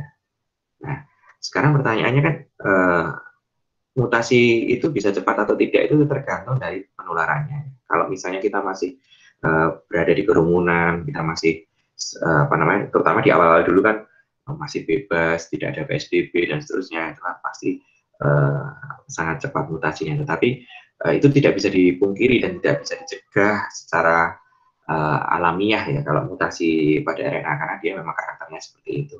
Nah sekarang pertanyaannya bagaimana pengaruhnya untuk pengujian molekuler? Nah tadi saya singgung sejauh ini letak-letak mutasi itu masih relatif pada gen-gen yang non krusial. Nah, sehingga uh, untuk deteksinya ya tadi sejauh ini WHO masih menggunakan primer-primer untuk deteksi tadi itu yang paling conserve. Ini yang paling yang paling spesifik untuk SARS-CoV-2 dan sejauh ini belum ada yang mengganggu mutasinya di situ. Sehingga uh, sampai detik ini saya sampaikan karena kan kita tidak tahu ya berapa besok atau apa kapan pun lagi uh, apakah ada mutasi di sampai ke level yang mengganggu arah deteksi itu kok sejauh ini belum ada laporannya. Uh, sehingga dengan demikian uh, kita apakah melihat primer yang digunakan untuk pengujian harus spesifik? Ya saya setuju karena harus yang konsep tadi. Dan bagaimana cara mengetahui bahwa virus SARS-CoV itu mudah atau sudah terjadi mutasi. Nah, kalau pendekatannya ingin melihat mutasi letaknya di mana, karakteristiknya bagaimana, itu kita menggunakan pendekatan whole genome sequencing. Jadi kita uh, mengurutkan dari mulai open reading frame 1 sampai paling bontot sehingga sekitar 29.900 sekian base pair itu tadi yang harus kita baca dan kita urutkan sehingga nanti dari masing-masing asam nukleotidanya bahkan mungkin dari proteinnya itu kita bisa lihat apakah dari leusin menjadi isoleusin dari valin menjadi visin nah itu letaknya di situ. Tapi itu butuh apa namanya butuh lab yang cukup uh, standarnya lebih tinggi ya karena setidaknya dia harus bisa mengkultur uh, virus itu sendiri dari negara kita. Hanya ada tiga lab. Saya tidak heran kalau IGD uh, Institut Tropical Disease di Unair itu bisa mengirimkan di G-Site mengirimkan whole genome sequencing secara lengkap kemudian Ekman juga karena dia punya PSL tipe 3 sehingga dia punya kemampuan untuk mengkultur virus Nah, itu yang bisa saya sampaikan. Sehingga kalau melihat ingin melihat itu ya harus dilihat dari kaki sampai eh dari rambut sampai kaki uh, apakah ada letak perbedaannya atau tidak. Nah, nanti dibandingkan dengan uh, kesepakatan origin virus itu tadi ya, yang mana ini menjadi acuan sehingga di semua negara kalau mau lihat letak mutasinya ya mengacu pada original atau origin dari uh, virus itu wild type-nya mau di yang ditentukan yang mana itu di G-Site Anda bisa lihat di G-Site nanti ada banyak hal di situ. Uh, kemarin saya menganalisis secara uh, manual atau secara menggunakan software uh, Mega itu saya ngambilnya dari G-Site. Ini sebenarnya bisa untuk skripsi atau untuk tesis atau penelitian teman-teman di biotek. Anda lebih mainkan ke bioinformatikanya. Anda karena semua sudah terpublish ya. Kita bersyukur sampai tadi malam itu 12 whole genome sequencing yang isolat asli Indonesia dari pasien Indonesia. Nah, ini mau mau adik, mau dilihat genetiknya, mau dilihat mutasinya. Seperti yang tadi saya tampilkan di PowerPoint saya, saya hanya mengambil tiga contoh saja, saya bisa melihat, oh letaknya ada di sini, di sini, di sini. Dan itu tidak sampai ke yang krusial. Artinya properti yang penting pada virus ini. Mungkin itu, Bu.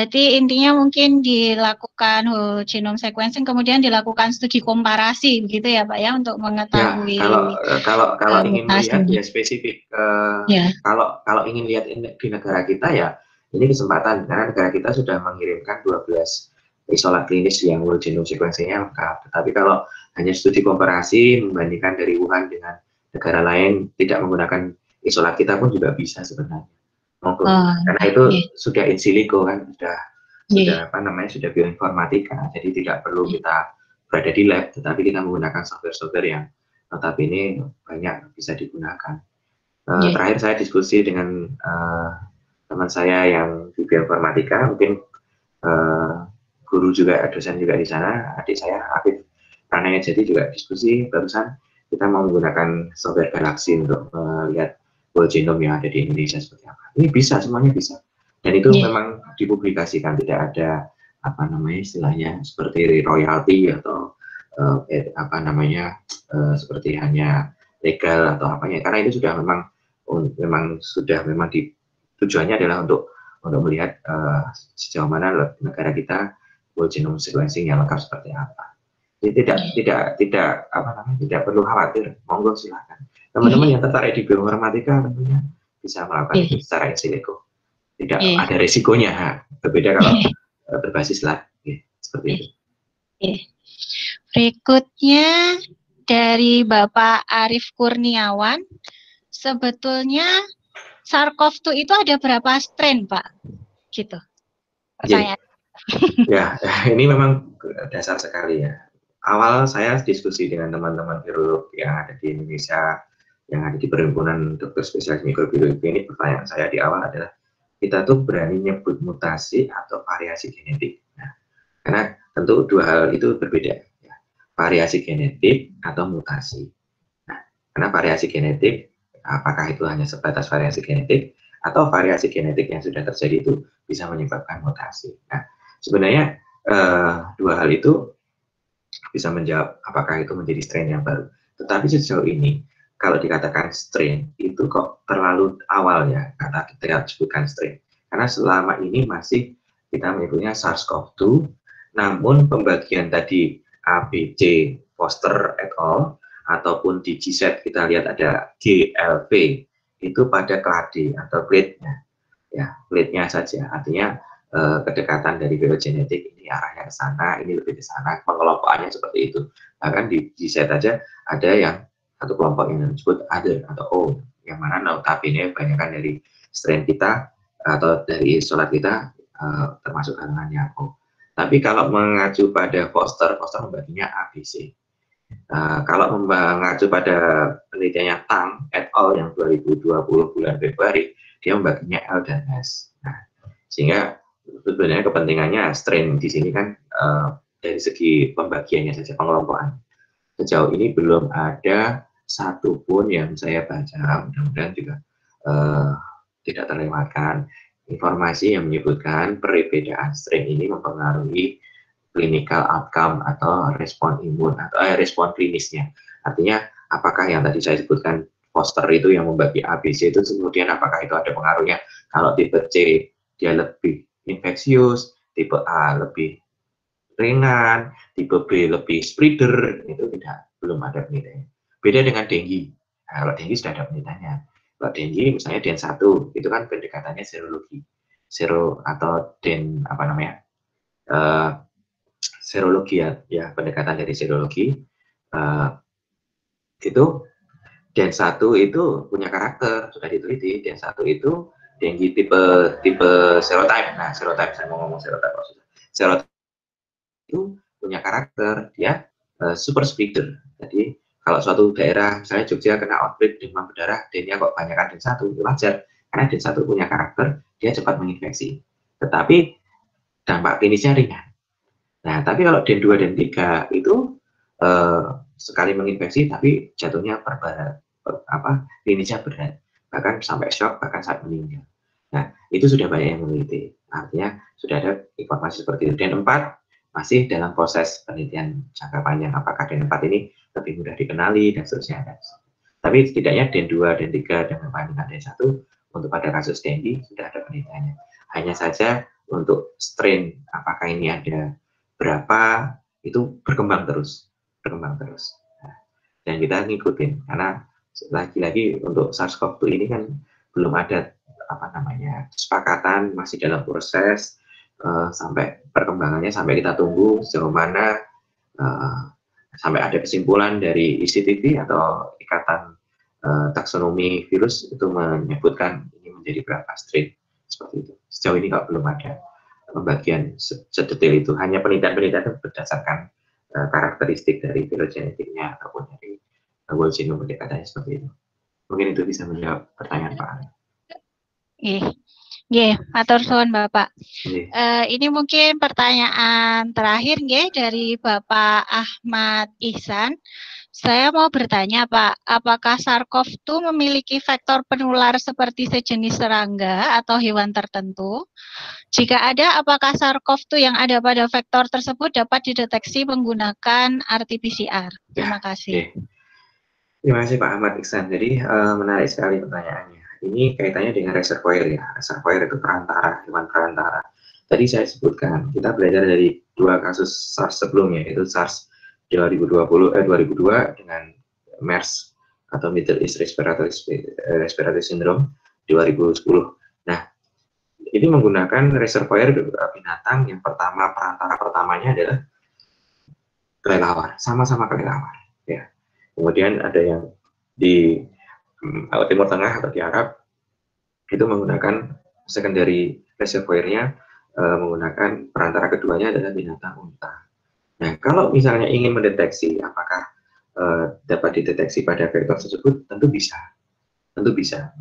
Nantinya beberapa nanti coba dilihat di NCBA atau di uh, apa namanya di Jinbang itu ada beberapa yang memang uh, apa namanya mendeteksi real time PCR-nya dengan melihat uh, apa namanya gen-gennya bahkan ada yang menggunakan whole genome sequencing pun juga melalui uh, binatang perantaranya tadi. Nah ini yang biasanya teman-teman di kedokteran hewan atau veteriner yang akan meneliti lebih lanjut. Sama seperti avian influenza dulu kan sempat kita ada outbreak seperti itu. Nah teman-teman dari uh, sejauh dari dokter hewan veteriner mereka akan meneliti lebih pada hewan unggasnya. Nah ini bisa juga kita uh, bisa dideteksi dengan menggunakan time PCR. Hanya saja masalahnya sekarang adalah hewan mana, hewan yang seperti apa, kapan. Ini yang terus terang gejala klinisnya tidak spesifik seperti hanya merawat manusia. Ya. Uh, artinya perlu apa namanya perlu bersama dengan dokter hewan yang bisa menentukan. Kalau vektornya sendiri apa itu masih tadi saya sebutkan penelitian terakhir yang cukup mengembirakan ada 96% dari pantai atau dari uh, terenggiling. Nah sekarang pertanyaannya apakah apakah semua terenggiling itu membawa itu? Apakah terenggiling yang ada di Wuhan saja? Ataukah dan seterusnya itu yang kita tidak tahu. Uh, tetapi ini yang menarik justru terlepas dari situ, ya ini yang menarik. Saya jadi ingat beberapa kasus yang lalu kan kita dengar uh, di kebun binatang di Malaysia itu ada singa yang di swab, ternyata real time PCR-nya positif. Begitu juga di hewan peliharaan seperti anjing dan kucing juga positif. Nah, itu artinya itu beda konteksnya. Kalau itu apakah dia tertular dari orang yang ada di sekitarnya, beda dengan tadi yang saya sebut di awal, dia adalah reservoir. Kalau yang Eh, penelitian-penelitian uh, yang terakhir yang ditemukan di mana di uh, kucing kemudian di anjing itu uh, di mana pemeliharanya atau yang orang yang yang merawatnya itu positif covid misalnya atau tidak pun nah itu bisa kemungkinan dia tertular dari lingkungan di sekitarnya. Nah, itu monggo itu bisa di, dideteksi lebih lanjut uh, untuk tetapi bisa dilakukan pemeriksaan dengan PCR hanya saja beda konteksnya kalau tadi reservoir kalau yang ini tadi, jangan-jangan dia terpapar oleh lingkungan sekitar atau di rumah di mana dia dirawat atau karena itu binatang-binatang peliharaan. Biasanya dikaitkan dengan orang yang merawatnya, yang mana apakah orang tersebut menderita COVID atau tidak, nah itu kemudian ada yang melacak sampai ke binatang peliharaannya dan itu ditemukan seperti itu. Mungkin itu yang bisa saya jawab. Uh, okay, banyak pertanyaan sebenarnya. Iya, mungkin waktunya saya, juga sudah. Oh, okay. saya derek saja. Okay. Saya derek saja. Oke, okay. nanti mungkin uh, bisa tanya jawabnya mungkin lewat ya, email, email gitu juga bisa nih Pak. Pak Ludang mungkin sangat terbuka Allah, untuk saya, menjawab pertanyaan dari Bapak Ibu. Ya, saya balas satu persatu. Iya, insya Allah. Oke, okay. matur suwun sangat Pak Ludang. Mungkin ya, yang terakhir kami. closing statement dari Pak Ludang mengenai uh, forum webinar kita ya. pada pagi. Iya, uh, saya closing statement pertama saya tujukan yang awal dulu pernah saya ditelepon oleh Bu Rektor Unisa uh, Bu Harjiti untuk menyampaikan apa sih peran atau bagaimana sih atau istilahnya apa yang bisa kita perbuat uh, untuk membantu setidaknya me, membantu pemerintah, membantu negara ini sumbang sih apa yang bisa diberikan Unisa untuk uh, apa namanya untuk mengatasi COVID-19 ini. Saya mengharapkan dan saya istilahnya memberikan uh, pandangan, Bu, kalau bisa UNISA itu uh, sudah ada laboratorium, sudah ada prodinya bioteknologi. Monggo disesuaikan. Arahnya itu mau ke mana? Bioteknologi ini kan luas. Saya juga alumni S2 bioteknologi. Ada yang larinya bioteknologi ke environment, lingkungan, ada yang bioteknologi ke pangan, ada yang bioteknologi ke uh, human atau ke farmasi, ada juga yang ke medical atau ke apa namanya kesehatan. Nah, mau ibaratnya mau ke mana? monggo silahkan. Apakah larinya mau ke lingkungan, ke pertanian, atau ke pangan, atau ke kesehatan, monggo sekerso. Tetapi kuncinya adalah saya berharap Unisa mempunyai laboratorium BSL tipe 2 plus. Ini menjadi kunci. Mudah-mudahan jika ada BSL tipe 2 plus yang sudah ada atau sedang diadakan dalam waktu dekat, tidak ada salahnya, tidak ada ruginya, tidak ada apa namanya uh, mudaratnya, lebih banyak manfaatnya. Karena teman-teman mahasiswa maupun dosen-dosen yang terlibat di sana itu SDM-nya sudah mumpuni, tinggal Eh, bagaimana SDM yang mumpuni alat-alat yang ada ini diperlakukan dalam suatu ruangan yang uh, aman untuk bekerja. Jadi kita kita tidak tidak perlu berkecil hati dengan kita mempunyai BSL tipe 2 dengan eh, BSC-nya dan juga dengan tekanan negatif pun kita bisa bereksperimen dengan banyak hal dan tidak hanya mendukung pada proses pendidikan, tapi bisa mendukung ke proses penelitian bahkan ke pengabdian masyarakat. Sehingga tridharma perguruan tinggi tetap bisa dilakukan di Indonesia khususnya di laboratorium bioteknologi. Uh, nanti kita akan saling berkolaborasi. Uh, sangat saya sangat terbuka sekali.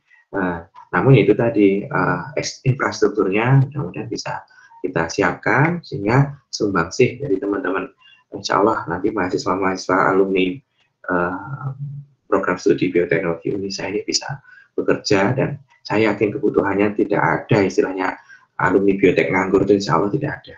Bahkan sekarang justru justru dibutuhkan. Bahkan kalau banyak orang yang mungkin latar belakangnya analis atau latar belakangnya kesehatan masyarakat atau latar belakangnya dokter itu pun juga pengen belajar bioteknologi. Artinya ya itu tadi saya di awal saya sebenarnya iri, saya irinya itu karena saya baru mengenal biotek itu S2, sedangkan teman-teman yang ada di sini kan sudah terpapar sejak lulus SMA. Nah insya Allah SDM ini menjadi kunci, menjadi potensi dan kalau bicara bioteknologi tidak ada habisnya. Ya, tadi seperti yang saya sampaikan pasti akan masuk terus. Dan satu hal menjadi kunci penutup saya adalah untuk mengatasi virus ini adalah kita harus lebih cepat dari ada virus itu sendiri. Insya Allah ke depan uh, Unisa bioteknologi bisa lebih maju lagi, lebih menyiapkan diri, SDM-nya, alat-alatnya, infrastrukturnya, insya Allah bisa memberi sumbangsih tersendiri bagi memberi warna Muhammadiyah dan mungkin menjadi satu-satunya bagian dari Muhammadiyah yang bisa berinteraksi langsung di laboratorium untuk membantu menegakkan diagnostik selain di rumah sakit maupun di pendidikan. Tapi untuk di laboratorium saya berharap bisa maju, uh, tidak kalah dengan laboratorium-laboratorium lainnya dan bisa menjadi unggulan. Saya dengar FKUMY sudah mendapatkan lampu hijau untuk uh, dijadikan pemeriksaan laboratorium. Jadi Jogja itu sudah ada lima Tiga itu uh, yang sudah established sekarang lab uh, eh, BTKL yang ada di uh, Mudo, dulu Yoro, sekarang di Mudo, saya di Mukiri. Uh, itu punyanya Kementerian Kesehatan. Kemudian lab Sansito, kemudian lab mikrobiologi FK UGM tempat saya mengajar. Kemudian uh, satu lagi lab Balifet kalau besok di Wates itu teman-teman di kedokteran hewan. Nah yang satu lagi yang saya dengar tapi untuk Balifet itu dan FK UMY ini mengajukan apa namanya permohonan untuk dibuka uh, atau diberi izin untuk melakukan pemeriksaan. Mudah-mudahan kita bisa sinergi uh, di antara Muhammadiyah, institusi perguruan tinggi Muhammadiyah bisa sinergi karena SDM kita cukup mumpuni, rumah sakit Muhammadiyah juga banyak sehingga harapannya mudah-mudahan insya Allah kita memberi solusi, memberi warna dan memberi sumbangsih bagi negara ini. Mungkin itu yang bisa saya sampaikan. Uh, kurang lebihnya saya mohon maaf uh, dan sekali lagi saya juga masih belajar tidak ada putusnya untuk belajar SARS-CoV-2 ini karena tiap hari informasinya selalu berkembang mungkin itu terima kasih Assalamualaikum warahmatullahi wabarakatuh. Matur nuwun iya. undangannya matur nuwun kesempatannya. Ya, Insya Allah bisa bertemu lagi di kesempatan yang lain di forum yang lain. Insya Allah nanti saya akan bisa berkontribusi membantu yang ada di Muhammadiyah mungkin itu. Yeah. Yeah. matur suwun sangat kagem Pak Ludang uh, atas uh, saran kemudian dukungannya. Kebetulan kemarin Bapak Kaprodi kami juga sudah sedikit rapat dengan Bu Rektor mungkin habis ini bisa digolkan Insya amin, Allah amin, untuk amin. jadi labnya. Ya saya berdoa itu cepat selesai cepat bisa ditelurkan netes. Tidak hanya telur tapi sudah netes gitu ya. Okay, amin. Amin okay.